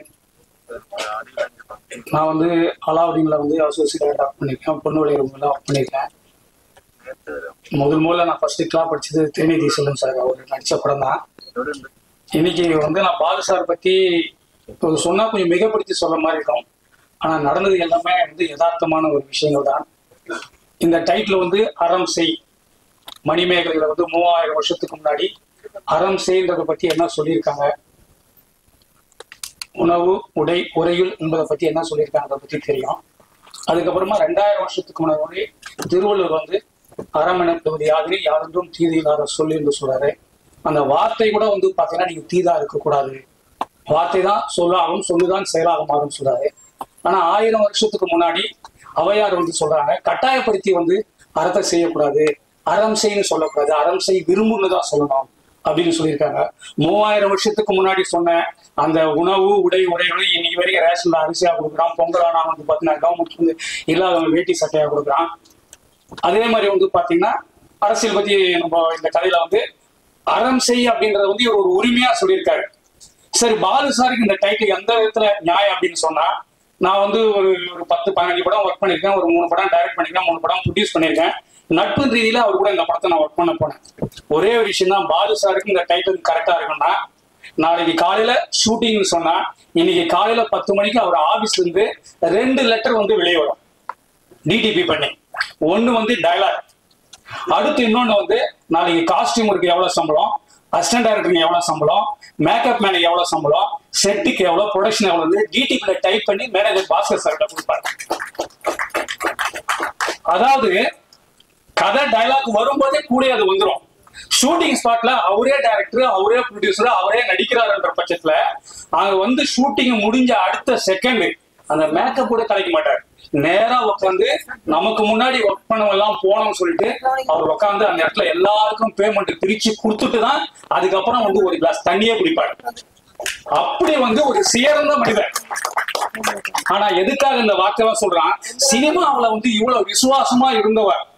அவருக்கு நடந்தது எல்லாமே இந்த சினிமாவில் சங்கத்துல இருக்கட்டும் தனிப்பட்ட இடத்துல அவ்வளவு பிரச்சனைகள் நடந்திருக்கு எதுக்காக இதெல்லாம் சொல்றேன்னா ஒரு ரெண்டே ரெண்டு உதாரணம் சொல்லி என்னுடைய சின்ன உரையை முடிச்சுக்கிறேன். ஒரு ஷூட்டிங் ஸ்பாட்ல வந்து இன்னைக்கு ஐம்பது பேர் தேவைப்படுது நாளைக்கு ஐம்பது பேர் தேவைப்படுது. கம்பெனி ஆர்டிஸ்ட் இருபத்தஞ்சு பேர் ஜூனியர் ஆர்டிஸ்ட் இருபத்தஞ்சு பேர் எடுத்தாச்சு. ஷூட்டிங் ஸ்பாட்ல யாரோ சொல்லிட்டாங்க நடிகர் சங்கம் எடுக்கணும் சொல்லிட்டாங்க. பெப்சில இருந்து வந்துட்டாரு சாமிநாதன் சார். ஷூட்டிங் நிப்பாட்டிட்டாரு. கை காலாம் எவ்வளவு காசு? தனி மனுஷன் ஒருத்தன் போராடி படம் எடுத்துட்டு இருக்கான். நான் பேரே சொல்லிட்டேன். உங்களுக்கு எல்லாம் தெரியும் எவ்வளவு கஷ்டம்னு சொல்லிட்டு. அதே மாதிரி வந்து பாத்தீங்கன்னா திருமண ஷூட்டிங் மேனேஜர் சொல்லிட்டு மேனேஜர் வராம போயிட்டாரு. யாருக்கு தவறு. கே ராஜன் நடிச்சு முடிச்சுட்டு சாப்பிட்டு ஒரு ஒன் ஹவர் ரெஸ்ட் எடுத்து நான் கிளம்ப மாட்டேன் கீழே அஞ்சனா கத்தி எல்லாரும் கூட்டம் வந்து வச்சிருக்கோம். மேனேஜர் வரல. ஷூட்டிங் வந்து நிப்பாட்டிட்டாங்க எங்க சங்கத்திலயும் போய் சொன்னேன் இயக்குனர் சங்கத்துல ஏதோ அவரை காம்ப்ரமைஸ் பண்ணாங்க. ப்ரொடியூசர் கவுன்சிலையும் சொன்னாங்க. காம்ப்ரமைஸ் பண்ணாங்க. மன்னன் சார் ஒருத்தர் மட்டும்தான். அதை கூப்பிட்டு விசாரிச்சு அவர் மட்டும் பண்ணாரு நம்ம மன்னன் சாருக்கு நம்ம மூலியமா இன்னைக்கு வந்து வாட்ஸ்அப் பண்ணதான் சொல்றேன். எவ்வளவு கஷ்டம். ஒரு விசுவாசமா இருக்கான் ஒரு மனுஷன். படம் எடுக்கிறாப்ல இவ்வளவு கஷ்டத்தை பகிர்ந்துட்டாரு ஆனா அவருக்காக நம்ம சங்கங்கள் செயல்படுதா அப்படின்னா நீங்க தான் பதில் சொல்லலாம் அடுத்ததா சரி இதுதான் இப்படி ஆகி போச்சு. Police station. RK house shooting நடக்குது வளசரவாக்கத்துல எட்டு மணிக்கெல்லாம் ஷாட் வச்சு போறோம் ஒரு ரெண்டு ஷாட் தான் எடுத்துங்கிறாங்க வீட்டுக்குள்ள எடுத்துங்கிறாங்க போலீஸ் வந்து டடன்னு வந்து வந்து நிப்பாட்டிட்டாங்க காசு கொடுன்னு கேட்கறாங்க சார் நீங்க ஷூட்டிங் சார் நான் போய் பேசுறேன் சார் போய்விட்டா சார் எதுக்கு சார் உள்ளதானே சார் ஷூட்டிங் இருக்கிறேன் வெளியில எதுக்கு சார் காசு கொடுக்கணும் அப்படின்னு கேட்டேன். அதெல்லாம் எங்களுக்கு தெரியாதுங்க. காசு கொடுங்க பிரச்சனை தான். எதுக்கு சார் கொடுங்கன்னு போகும்போது பாத்தீங்கன்னா கொடுத்துதான் வேணும் சரி கொடுங்க ஃபோன் எடுங்க நீங்க சொல்லுங்க நான் கொடுக்குறேன் அப்படின்னு சொன்னா ஃபோனை பிடிக்கிட்டு போயிட்டான். அதுக்கப்புறம் சன் டிவி சக்தியூர் சொன்னேன் அந்த போலீஸும் ஒருத்தர் இருந்தார். குருஸ்னு சொல்லிட்டு இன்ஸ்பெக்டர் இருந்தார். அவர் வந்து ஒண்ணு இல்லை நீங்க போங்க சொல்லி அனுப்பிச்சு வச்சார் எல்லா இடத்துலயுமே பிரச்சனை. எல்லா இவ்வளவு பிரச்சனையும் கடந்து சென்சார் போயிட்டு போனா அங்க வந்து பாத்தீங்கன்னா நாற்பத்தி ரெண்டு கட்டு. அதாவது மனசுல வந்து ஒரு ஒரு ஒரு வந்து வந்து அவன் வந்து ஒரு அழுக்க சுமந்துக்கிட்டு படம் பார்த்து நாற்பத்தி ரெண்டு கட்டு தான் நான் ஒரு பதினோரு படத்துக்கு சென்சார் போயிருக்கேன் அரை மணி நேரத்துக்கு அதிகமா இருக்கும். எல்லாரும் தெரியும். என்ன ஜெயிச்சவங்க எல்லாருமே தெரியுமா? அரை மணி நேரத்துக்கு மேல அதிகமா மூணு மணி நேரம் ஏழரை மணிக்கு படம் முடிஞ்சு ஒன்பது மணி வரைக்கும் படத்தை அப்படியே அந்த அளவுக்கு இது கழிக்கல அது சில சென்ட்ரல் சொல்லிருக்கீங்க ஸ்டேட்டஸ் சொல்லிருக்கீங்க ஆளும் கவர்மெண்ட் சொல்லிருக்கீங்க எதிர்கட்சி சொல்லிருக்கீங்க எதுதான் சார் எல்லாமே சொல்லியிருக்கேன் சார். ஆனா நடந்து தானே சார் சொல்லியிருக்கேன். மூணு மணி நேரம். போராடி இவ்வளவு தொலை வந்திருக்காங்க. எதுக்காக இவ்வளவு எல்லா விஷயத்தையும் நான் சொல்றேன்னு சொன்னா இந்தியாவுல தமிழ்நாடுன்னா தனி மரியாதை. வந்தாரை வாழ வைக்கிறது மட்டும் இல்ல. இங்க வந்தவங்களுக்கு எல்லாருக்குமே என்ன சிறப்புன்னு உங்களுக்கு தெரியும். அதே மாதிரி மீடியாவும் சொன்னா நார்த் இந்தியா மீடியாலாம் எப்படி எழுதுவாங்க என்னன்னு தெரியும். ஆனா இந்த வளர்ந்த குழந்தைக்கும் ஒரு பிறந்த குழந்தைக்கும் எவ்வளவு வித்தியாசம் இருக்குன்றத பத்திரிகை ஊட தர்மங்களுக்கு உங்களுக்கு எல்லாருக்குமே தெரியும். நீங்க தயவு பண்ணி ஒரு இந்த ஒரு ஃபர்ஸ்ட் படம் இவ்வளவு கஷ்டப்பட்டு நிறைய கஷ்டம் சொல்றான். டெய்லி டெய்லி வந்து பாத்தீங்கன்னா நைட்டு ஒன்பது மணிக்கு ஸ்கூல் முடிச்சா பன்னெண்டு மணி தான் வீட்டுக்கு போவோம். அவ்வளவு பிரச்சனை வந்துட்டே இருக்கும். ஏதோ ஒரு சைடுல வந்துட்டே இருக்கும். இருந்தாலும் தைரியமா எடுத்து ஒரு கான்செப்டை சொல்லி இவ்வளவு ஒரு விஷயத்த பண்ணியிருக்கோம். கையெடுத்து கும்பிடுறது எங்க படக்குழுவின் சார்பாக பத்திரிகை நண்பர்கள் ஊடக நண்பர்கள் நீங்க மனசு வச்சா இந்த படம் கண்டிப்பா வெற்றி படமாக வேண்டும் உங்களை பாதங்களை சுட்டு கேட்டுங்க இந்த ஒரு குழந்தை இந்த குழந்தை வந்து பாத்தீங்கன்னா உங்களை நம்பி வந்திருக்கு இந்த குழந்தை இந்த குழந்தைய கரை கொண்டு வேண்டியது உங்ககிட்ட தான் இருக்கு. தயவுன்னு எங்களுக்கு எல்லாம் ஒரு நல்ல வாய்ப்பு தரும்படி தாழ்மையை கேட்கிறேன் நன்றி வணக்கம். அரண்சை திரைப்படத்தின் இசை வெளியீடு நிகழ்ச்சியை சிறப்பித்துக் கொண்டிருக்கும் பத்திரிகை நண்பர்கள் ஊடக நண்பர்கள் சிறப்பு விருந்தினர் படக்குழுவினர் மற்றும் வருகை தந்திருக்கும் அனைவருக்கும் என் பணிவான வணக்கம். அரம்சை இந்த டைட்டில் பாலு சார் கிட்ட நான் ஆரம்பத்துல ரெண்டு மூணு தடவை கேட்டிருக்கேன். அரண்சைனா என்ன சார் அர்த்தம்? எனக்கு இதுக்கு புரியல கொஞ்சம் சொல்லுங்க அப்படின்னு நான் கேட்டிருக்கேன். அறம் அப்படின்னா அதுக்கு நிறைய பொருள் இருக்கு. ஒவ்வொரு இடத்துல அது வந்து வேறுபடும். இதுதான்னு சொல்ல முடியாது. ஆனா உங்களுக்கு படம் இதுக்கு வந்து பதில் சொல்லும். இவ்வளவுதான் எனக்கு சொன்னாரு. அவர் எனக்கு கதை இன்னை வரைக்கும் நான் சொன்னதும் இல்ல. சார்கிட்ட நான் கதை கேட்டது இல்ல இந்த பாலு சார் பண்ற படம் கண்டிப்பா ரொம்ப சிறந்த படமா இருக்கும். அதனால அவர்கிட்ட நான் கேட்கவே இல்லை. ரெகுலரா நான் ஷூட்டுக்கு போய் கிட்டத்தட்ட ஒரு முப்பது நாள் டப்பிங் பண்ணாங்க. ஒவ்வொரு நாளும் நான் போய் போய் போய் இந்த படத்தை வந்து நான் கொஞ்சம் கொஞ்சமா எனக்கு அந்த அரம்சைக்கு பதில் எனக்கு கிடைச்சது. முழுக்க வந்து அரசியல் படம் தான் நார்மலா எனக்கு அரசியல்ல பெரிய இன்ட்ரெஸ்ட் இல்ல. ரொம்ப அதை நான் தெரிஞ்சுக்கணும்னு ஆசைப்பட்டதும் நான் இல்ல. அதிகபட்சம் அரசியல் அப்படின்னா பெருந்தலைவர்கள். காந்தி நேரு காமராஜர். அவ்வளவுதான். அதுக்கு மேல இப்போனா ministers chief minister prime minister இவ்வளவுதான். அதுக்கு மேல நான் தெரிஞ்சுக்கணும்னு ஆசைப்பட்டது இல்ல ஆனா இந்த அரம்சை ரெண்டு வருஷமா நான் டிராவல் பண்ணதுக்கு அப்புறம் தான் எனக்கு அரசியல்னா என்னங்கிறது எனக்கு கத்து கொடுத்தது வந்து இந்த அரம்சை திரைப்படம். அவ்வளவு விஷயங்கள். மாணவர்களுக்கும் அரசியலுக்கும் என்ன சம்பந்தம்? பெண்களுக்கும் அரசியலுக்கும் என்ன சம்பந்தம்? தொழிலாளர்களுக்கும் அரசியலுக்கும் என்ன சம்பந்தம்? அந்த மாதிரி ஒவ்வொரு விஷயத்துக்குமே வந்து எனக்கு பதில் கிடைச்சது. டெய்லி நான் நியூஸ் பாக்குறப்போ ஒவ்வொரு நாளும் படத்துல பார்த்த ஒவ்வொரு சீனுமே எனக்கு வந்து அதுக்கு கனெக்டடா இருக்கும். சோ அப்ப மறுநாள் பாலு சார்ட்ட சொல்லுவேன். சார் இன்னைக்கு நியூஸ் பார்த்தேன். நம்ம படத்துல சொன்னது வந்து நியூஸ்ல வந்தது. இது விஷயம் இது இது மூலமா தான் நான் இன்னைக்கு வந்து அரசியலை கத்துக்கிட்டு இருக்கிறேன். அரசியல் இந்த படத்துல ஒரு டயலாக் வரும். அறம் செய்யவே இங்கு அரசியல் களம் என்ற சொல்லின் உச்சம்தான் இந்த அரசு அரசை திரைப்படம். சோ அரசியல் களத்திற்கு வழியை உண்டாக்கி அரசியலை உருவாக்கி அரசியலை வேறுபடுத்தி மிகவும் அழகா நமக்கு இயக்கி இந்த படத்தை கொடுத்திருக்காரு. இது மக்களுக்கான படம். மக்கள் கிட்ட போய் சேரணுங்கிறதுக்காக ரொம்ப துணிச்சலா இந்த படத்தை எடுத்திருக்கிறாங்க. இத மக்கள் கிட்ட கொண்டு போய் சேர்க்கிறது பத்திரிகை நண்பர்கள் ஊடக நண்பர்கள் உங்களால மட்டும்தான் இது சாத்தியம். தயவு செஞ்சு கொண்டு போய் சேர்த்துருங்க. மக்கள் எல்லாருமே இந்த படத்தை கண்டிப்பா பார்க்கணும். வந்து பாருங்க. ஆஹ் இந்த படத்துல நானும் இருக்கிறேங்கிறதே ரொம்ப பெருமையான ஒரு விஷயம். டைரக்டர் சார் பத்தி சொல்லணும் அப்படின்னா கதை திரைக்கதை வசனம் இயக்கம் ஒளிப்பதிவு. இது எல்லாத்துக்கும் மேல பாலு சார் ஒரு நல்ல மனிதர். எல்லாரையுமே சமமா பார்ப்பாரு. பெண்களை மிகவும் மதிப்பவர். அவருடைய டெடிகேஷன் ஹார்ட் ஒர்க் விடாமுயற்சி நாட்டு மேல இருக்கிற பற்று சினிமா மேல இருக்கிற லவ் இது எல்லாத்துக்கான பலன் இந்த அரம்சை அரம்சை தொடக்கம் மட்டும்தான். அவருடைய பாதைகள் இன்னும் ரொம்ப தூரம். நிறைய நல்ல படங்கள் மட்டும் கொடுப்பாரு. சோ இவ்வளவு பெரிய வாய்ப்பு கொடுத்த பாலு சாருக்கு என் மனமார்ந்த நன்றியை தெரிவிச்சுக்கிறேன். நன்றி வணக்கம். இன்னல் உற்றிடும் போததற்கு அஞ்சோம். ஏழையராகி இனி மண்ணில் துஞ்சோம். தன்னலம் பேணி இழித்தொழில் புரியும். தாய் திரு நாடினில் இனி கைவிரியோம். தன்னலம் பேணி இழித்தொழில் புரியும். தாய் திரு இது கைவிரியும். ரொம்ப அற்புதமாக ஒரு மனசுக்கு நிறைவான அரசியலுக்கு நெருக்கமான சமகால அரசியலை பேசி இருக்கிற அறம் அறம் செய் திரைக்குழுவிற்கு என்னுடைய மனமார்ந்த பாராட்டுகளும் நன்றிகளும். இங்க நான் நிக்கிறேன் அப்படின்னா இந்த படத்தோட ஒரு சின்ன தொடர்பு இருக்குன்னு நான் நம்புறேன்.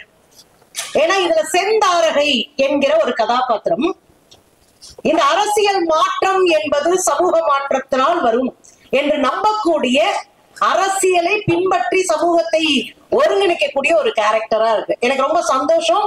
இந்த இடத்துல நான் நிக்கிறதுக்கும் அதுதான் காரணம். எனக்கும் அதிலே நம்பிக்கை இருக்கிறது. தமிழகத்திலே பெண்கள் அரசியலாக ஏன் உலகத்தில் பெண்கள் அரசியலை புரிந்து கொண்டு அரசியலாக இருந்தார்கள் என்றால் சமூக மாற்றம் நிச்சயம் நடக்கும் என்று நம்புகிற ஒரு ஆள். எனவே இந்த படம் எனக்கு ரொம்ப நெருக்கமா நான் ஃபீல் பண்ணேன். படக்குழுவே ரொம்ப ஜாலியான மூட்ல இருக்கிறாங்க. எனக்கு ரொம்ப சந்தோஷமா இருந்தது. நல்ல- படம். எனக்கு ப்ரொடியூசர் பேசும்போது சொன்னாங்க. ஒரு அரசியல் நான் தெரிஞ்சுக்கிட்டேன். ரொம்ப எனக்கு சந்தோஷமா இருந்தது உங்க பேச்சு. ஏன் தெரியுங்களா? இந்தியாவுல தமிழ்நாட்டுல தொண்ணூறு சதவீதம் பேர் என்ன நினைக்கிறது தெரியுமா? அரசியல். ஐயோ அதெல்லாம் எனக்கு எதுக்குப்பா? அதெல்லாம் தெரியாதுப்பா. எதுக்குங்க சம்பந்தம் இல்லாம அதை பேசணும்? அப்படின்னு நிறைய பேர் கேட்கிற வழக்கம் உண்டு. நான் சொல்றேன் அரசியல் இல்லாம ஒரு தனி மனிதனுடைய வாழ்க்கையே கிடையாது. என் தட்டுல என்ன சோறு இருக்கணும்னு தீர்மானிக்கிறது அரசியலாக மட்டும்தான் இருக்கு.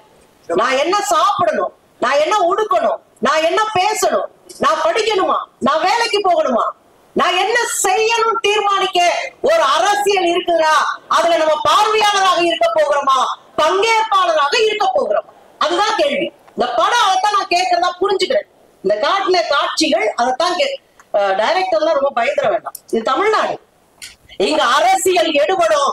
அரசியல் பேசுற அத்தனை பேருக்கும் எல்லாரும் கொண்டாடி தீர்ப்பாங்க சமகால அரசியலை பேசணும். ஒரு கலைஞனுக்கும் படைப்பாளிக்கும் முக்கியமான பொறுப்பு என்ன தெரியுங்களா? ஒரு படைப்பாளி அரசியலை பேசணும். அது அவருடைய கடமை நான் நினைக்கிறேன். ஏன்னா இது காலங்காலமாக இந்த நாட்டினுடைய விடுதலைக்காக போராடி கொண்டிருந்த போது நாடகத்துல வந்த முருகன் அரசியல் பேசினார். முருகன் அரசியல் பேசினார். வள்ளிதரமா நாடகம் நடக்கும். ஆனா முருகன் அரசியல் பேசினாரு. வெளிநாட்டுக்காரங்களை பார்த்து கேள்வி கேட்டாரு. வெள்ள வெள்ள கொக்கே வெள்ளாட்டம் கொக்கே தேம்ஸ் நதை கொக்கேன்னு கேட்டாரு. அரசியல் பேசினாரு. விடுதலை கிடைச்சது. ஏன் கலைஞர்கள் அரசியல் பேசணும் நாங்களாம் எதிர்பார்க்கிறோம் அப்படின்னா நான் பதினெட்டு வயசுல மாணவர் சங்கத்துல அரசியல்ல உள்ள வந்தேன். மாணவர் சங்கத்தினுடைய தலைவரா நான் உள்ள வந்தேன். இன்னைக்கு வரையும் ஒரு இடதுசாரி கம்யூனிஸ்ட் இயக்கத்துக்குள்ள ஒரு சாதாரண தொண்டரா பயணம் பண்ணிட்டே இருக்கேன் அவ்வளவு அவமானங்கள் புறக்கணிப்புகள் தாண்டிதான் எல்லாருடைய பயணமுமே கூட. ஆனால் இந்த அரசியல் வாழ்க்கை ரொம்ப முக்கியமானது நான் புரிஞ்சுக்கிறேன். ஏன் சொல்றேன் அப்படின்னா சப்தர்கஸ்மின்னு ஒருத்தர் நீங்க பார்த்திருப்பீங்க கேள்விப்பட்டிருப்பீங்க. வீதி நாடக கலைஞன் சப்தர்கஸ்மி. ஒரு பேராசிரியரும் கூட டெல்லி மாநகர வீதியில வீதி நாடகத்தை போடுறாரு.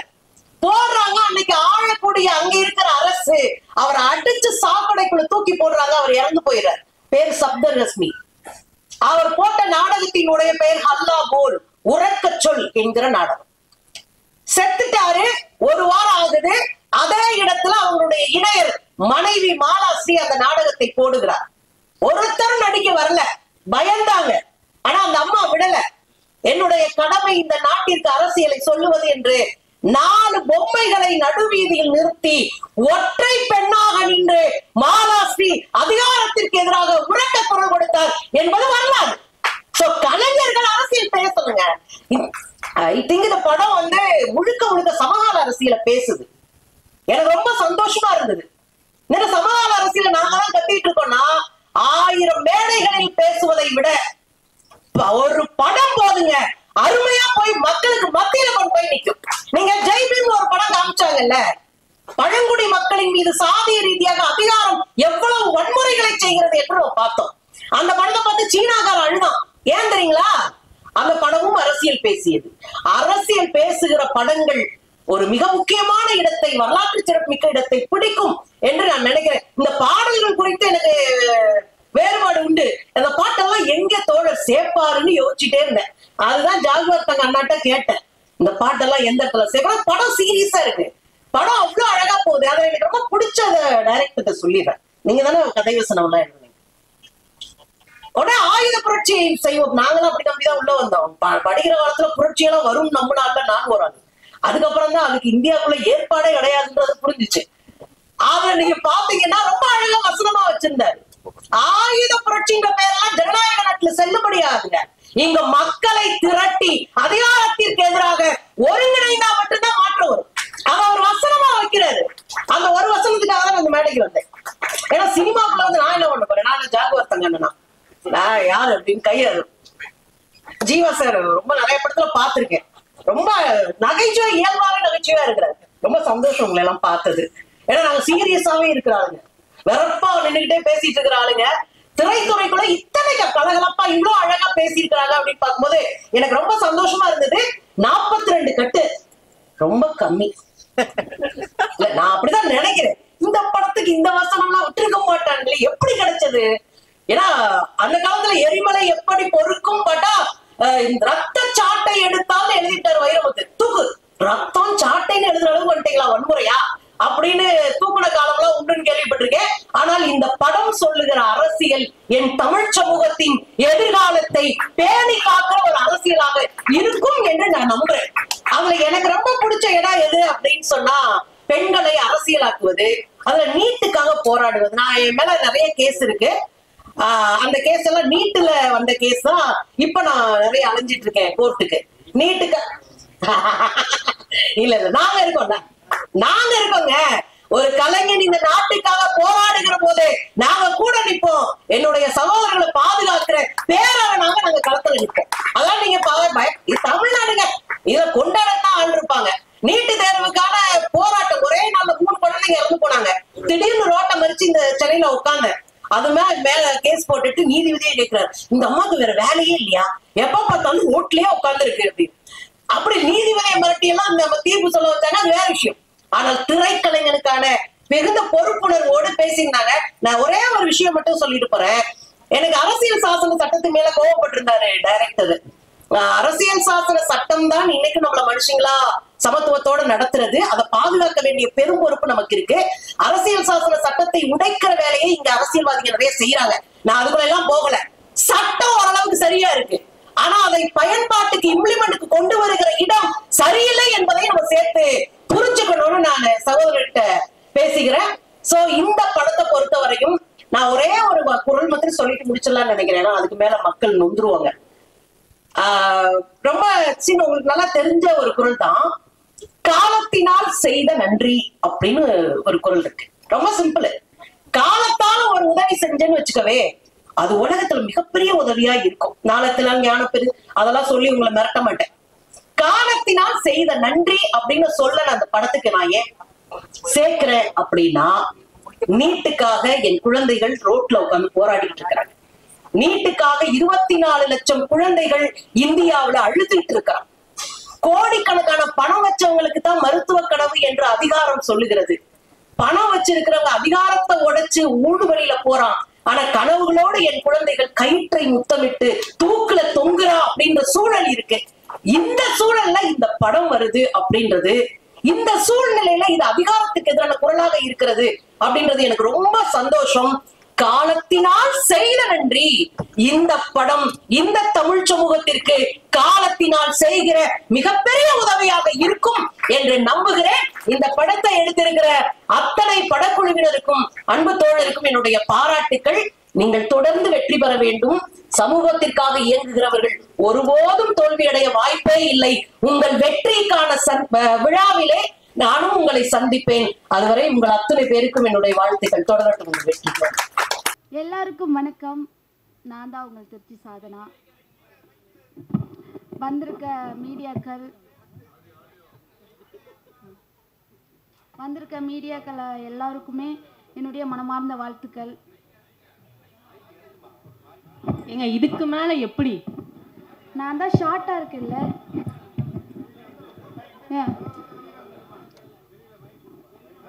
இல்லை இல்லை பரவாயில்ல விடுங்க. இப்போ கேட்குதா இப்போ கேட்குதா எல்லாருக்கும்? திருச்சி வரைக்கும் கேட்குதா ஓகே சூப்பர் எனக்கு வந்து ரொம்ப சந்தோஷமா இருக்கு. ஏன் ரொம்ப சந்தோஷமா இருக்கு அப்படின்னா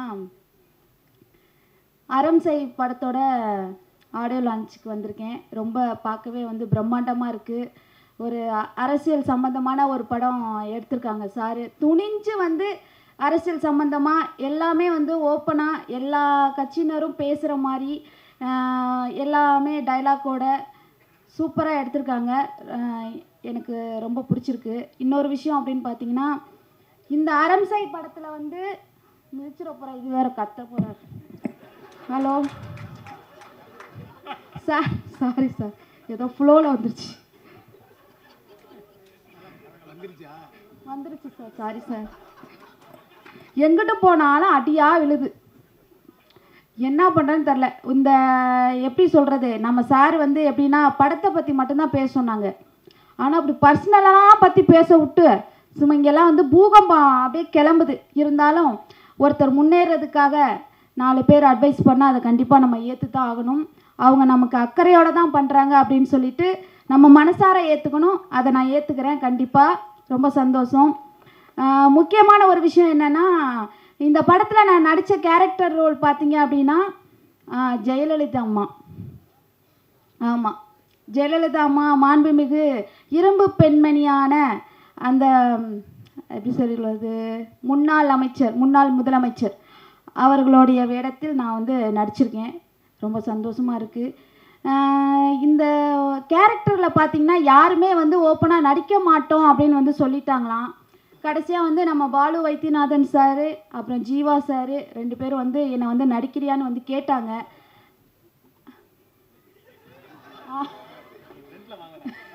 ஜீவா சார். ஆ இந்த ஜீவா.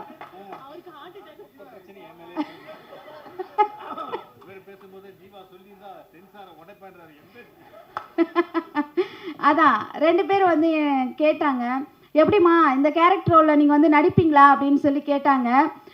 கண்டிப்பாக எனிவே எல்லா கேரக்டருமே நான் நடிக்கிறேன் சார். எதுவும் பிரச்சனை எதுவும் வந்துடாதா அப்படின்னு வந்து நான் கேட்டேன். இது வந்து ஒன்லி நடிப்பு தானம்மா. இந்த அரம்சை அப்படிங்கிறது நம்ம கூட படத்து மூலியமாக வெளிக்காட்டல அப்படின்னா இந்த நாட்டில் சில விஷயங்கள் வந்து நமக்கே தெரியாமல் அதை சொல்கிறதுக்கு யாரும் தயங்கி நிற்கிறாங்க ஸோ இந்த படம் பார்த்தாவது எல்லா மக்களும் நேரடியாக தன்னம்பிக்கையாக தைரியமாக வந்து இந்த படத்தின் மூலமாக எல்லாரும் வந்து துணிஞ்சு யாராக இருந்தாலும் பயப்படாமல் கேட்கணும் அப்படிங்கிறதுக்காக தான் இந்த படம் வந்து நான் வந்து எடுக்கிறேன். அதனால் ஸோ உனக்கான ப கேரக்டர் ரோலை நீங்கள் பண்ணுங்க அப்படின்னாங்க கொஞ்சம் தயங்கியே இருந்தேன். அப்புறம் இன்னொரு விஷயம் என்னன்னு பார்த்தீங்கன்னா அந்த அம்மாவோட ஆட்டிடியூட் அந்த அம்மா எப்படி நடக்கிறாங்க பேசுகிறாங்க பாவனை அவங்க எப்படி நடந்து வர்றாங்க போகிறாங்க இதெல்லாம் வந்து வீடியோவாக நீங்கள் வந்து ஒரு டைம் பாருங்கள் அப்படின்னு சொல்லிகிட்டே இருந்தாங்க. கடைசியில் சரி ஓகே சார் அப்படின்னு சொல்லிட்டு பார்த்தேன். எனக்கு வந்து டைலாக்ஸ் வந்து எனக்கு வந்து நிறையவே கொடுத்தாங்க. அதை வந்து பின்பற்றி சாரோட நம்பிக்கையை இழக்காமல் கண்டிப்பாக என்னால் முடிஞ்ச வரைக்கும் இந்த படத்தை வந்து நான் வந்து நடித்து கொடுத்துருக்கேன். என் மனசார எப்படி சொல்கிறது நானே ரொம்ப சந்தோஷப்படுறேன். நீங்கள் எல்லாருமே இந்த மீடியாக்கள் ஆப்போசிட்டாக வந்து நல்லதும் நடக்கும் கெட்டதும் நடக்கும். இந்த மாதிரி வந்து கஷ்டப்பட்டு எடுக்கிற படத்துக்கு நீங்கள் வந்து உறுதுணையாக ஒரு ஹெல்ப்ஃபுல்லாக இருந்தீங்க அப்படின்னா எங்களுக்கு வந்து ரொம்ப சந்தோஷமாக இருக்கும். முதல் படம் வெளியாக உள்ளது. ஆயிரம் முன் ஒரு பதினஞ்சு படம் நடித்து முடிச்சுட்டு ஆனால் வரவிக்கிறது வந்து இந்த இந்த படம் தான் அரம்சை படம் தான் வர வரப்போகுது. ஸோ எல்லாரும் சப்போர்ட்டாக இருந்து எங்களுக்கு இந்த மாதிரி டீமுக்கு எல்லா டீமுக்கும் எங்களுக்கு வந்து ரொம்ப கஷ்டப்பட்டு எடுத்திருக்காங்க அரம்சை அதனால் இந்த டீமுக்கும் நீங்கள் வந்து என்ன சொல்கிறது எனக்கு அவர் சொன்னதே மைண்டில் ஓடிக்கிட்டே இருக்குது. டக்கு டக்கு டக்கு டக்கு டக்குன்னு ஓடுது. என்னடா கூப்பிட்டு வச்சு இவ்வளோ அழகாக தெளிவாக பேசுகிறாரு அப்படின்னு சொல்லிட்டு. இப்போ சப்போர்ட் பண்ணுங்கள் எல்லாரும். நீங்கள் சொல்கிறதுனால உங்கள் பேர் என்ன சார் குணாஜி. இங்கே பார்த்தீங்கன்னா இங்கே அரசியல் வட்டமே நடத்திட்டார். குணாஜி. கத்து கத்து கத்து கத்துன்னு கத்துனாலும் இங்கே ஒரு கை தட்டினா ஓசையே வராது. அந்த காலத்தில் சொன்ன மாதிரி தான் எல்லாரும் சொன்ன மாதிரி தான் நீங்கள் கத்த நாங்கள் கேட்க இவ்வளோதான் எல்லாருமே கத்தணும் உங்கள் மாதிரி கோரஸா? இல்லைங்களா? அதனால் ஒருத்தர் எனர்ஜியை வேஸ்ட் பண்ணி கத்தி கத்துனா அவங்களும் ஆப்போசிட்டில் அவங்க வாயை தானே பார்த்தாங்க. வேறு ஏதாவது பேசுனாங்களா? பேச முடியல ஏன்னா நீங்கள் பேச விடலை ஸோ அதனால் படம் எப்படி எடுத்திருக்காங்கன்னா எல்லாரும் ஒற்றுமையாக இருந்து போராடுங்க. இந்த தமிழ்நாட்டுக்கு நல்லதை வந்து நீங்கள் கேளுங்க போராடி வாங்குங்க உண்மையை உறக்க சொல்லி எல்லாமே பண்ணுங்க அப்படிங்கிறதுக்காக தான் அரம்சை படம் வந்து எடுத்திருக்காங்க. அதனால் எல்லாரும் சப்போர்ட்டிவாக இந்த படத்தை ஆதரித்து மேலும் எல்லா பேரும் போய் தேட்டரில் போய் கண்டிப்பாக பாருங்கள் எங்கிட்டாவது சைடு கீழில் போய் ஏதாவது பார்த்து கீது தொலைஞ்சிடாதீங்க அதனால் வந்து தயவு செய்து தேட்டரில் வந்து பாருங்கள் முக்கியமாக வந்து ஜீவா சார் ரொம்ப நன்றி. அண்ட் வந்து மேம் உங்களுக்கும் ரொம்ப ரொம்ப நன்றி. பாலு வைத்தியநாத் சார் உங்களுக்கு ரொம்ப நன்றி சார். உங்களுக்கும் நன்றி சார். பேர் தெரியல. ஜாக்கு வர்தனா ரொம்ப நன்றி. ஏன்னா அவர் எப்போ பார்த்தா ஆ எப்படி? உன் பேரா? ரைட்டு. ஏன் நம்ம மேடையில் உட்காந்துருக்கையா அங்கிட்டு போய் வச்சுக்கலாம் அப்படின்னு பார்த்தா. இல்லை இல்லை. அப்படின்னு பார்த்தா அவர் ஆ சாதனா ம் அப்படி. ஐயோ நான் மேடையில் வேற இருக்கனே. பொண்டாடி இருக்கா சார்? பொண்டாடி இருக்குன்னு தான் சொன்னார் அவர். இல்லையா சார்? இல்லையா? ஓ சண்டை. ஐயோ என்கிட்ட உங்க கதை இழுத்துறீங்க சாமி. நானே ஏகப்பட்ட பிரச்சனையில இருக்கேன் சார். யா சார் ஐயோ அத்தி. சரிங்க சார். எல்லாருமே எங்களுக்கு வந்து துணையா இருந்து துணையா இருந்துன்னா என்ன இருந்து? எல்லாரும் ஆதரவா இருந்து சப்போர்ட் பண்ணி இந்த படத்தை வந்து தேட்டரில் போய் ச- எங்- எங்களுக்காக பாருங்க ரொம்ப கஷ்டப்பட்டு எடுத்திருக்காங்க சார்.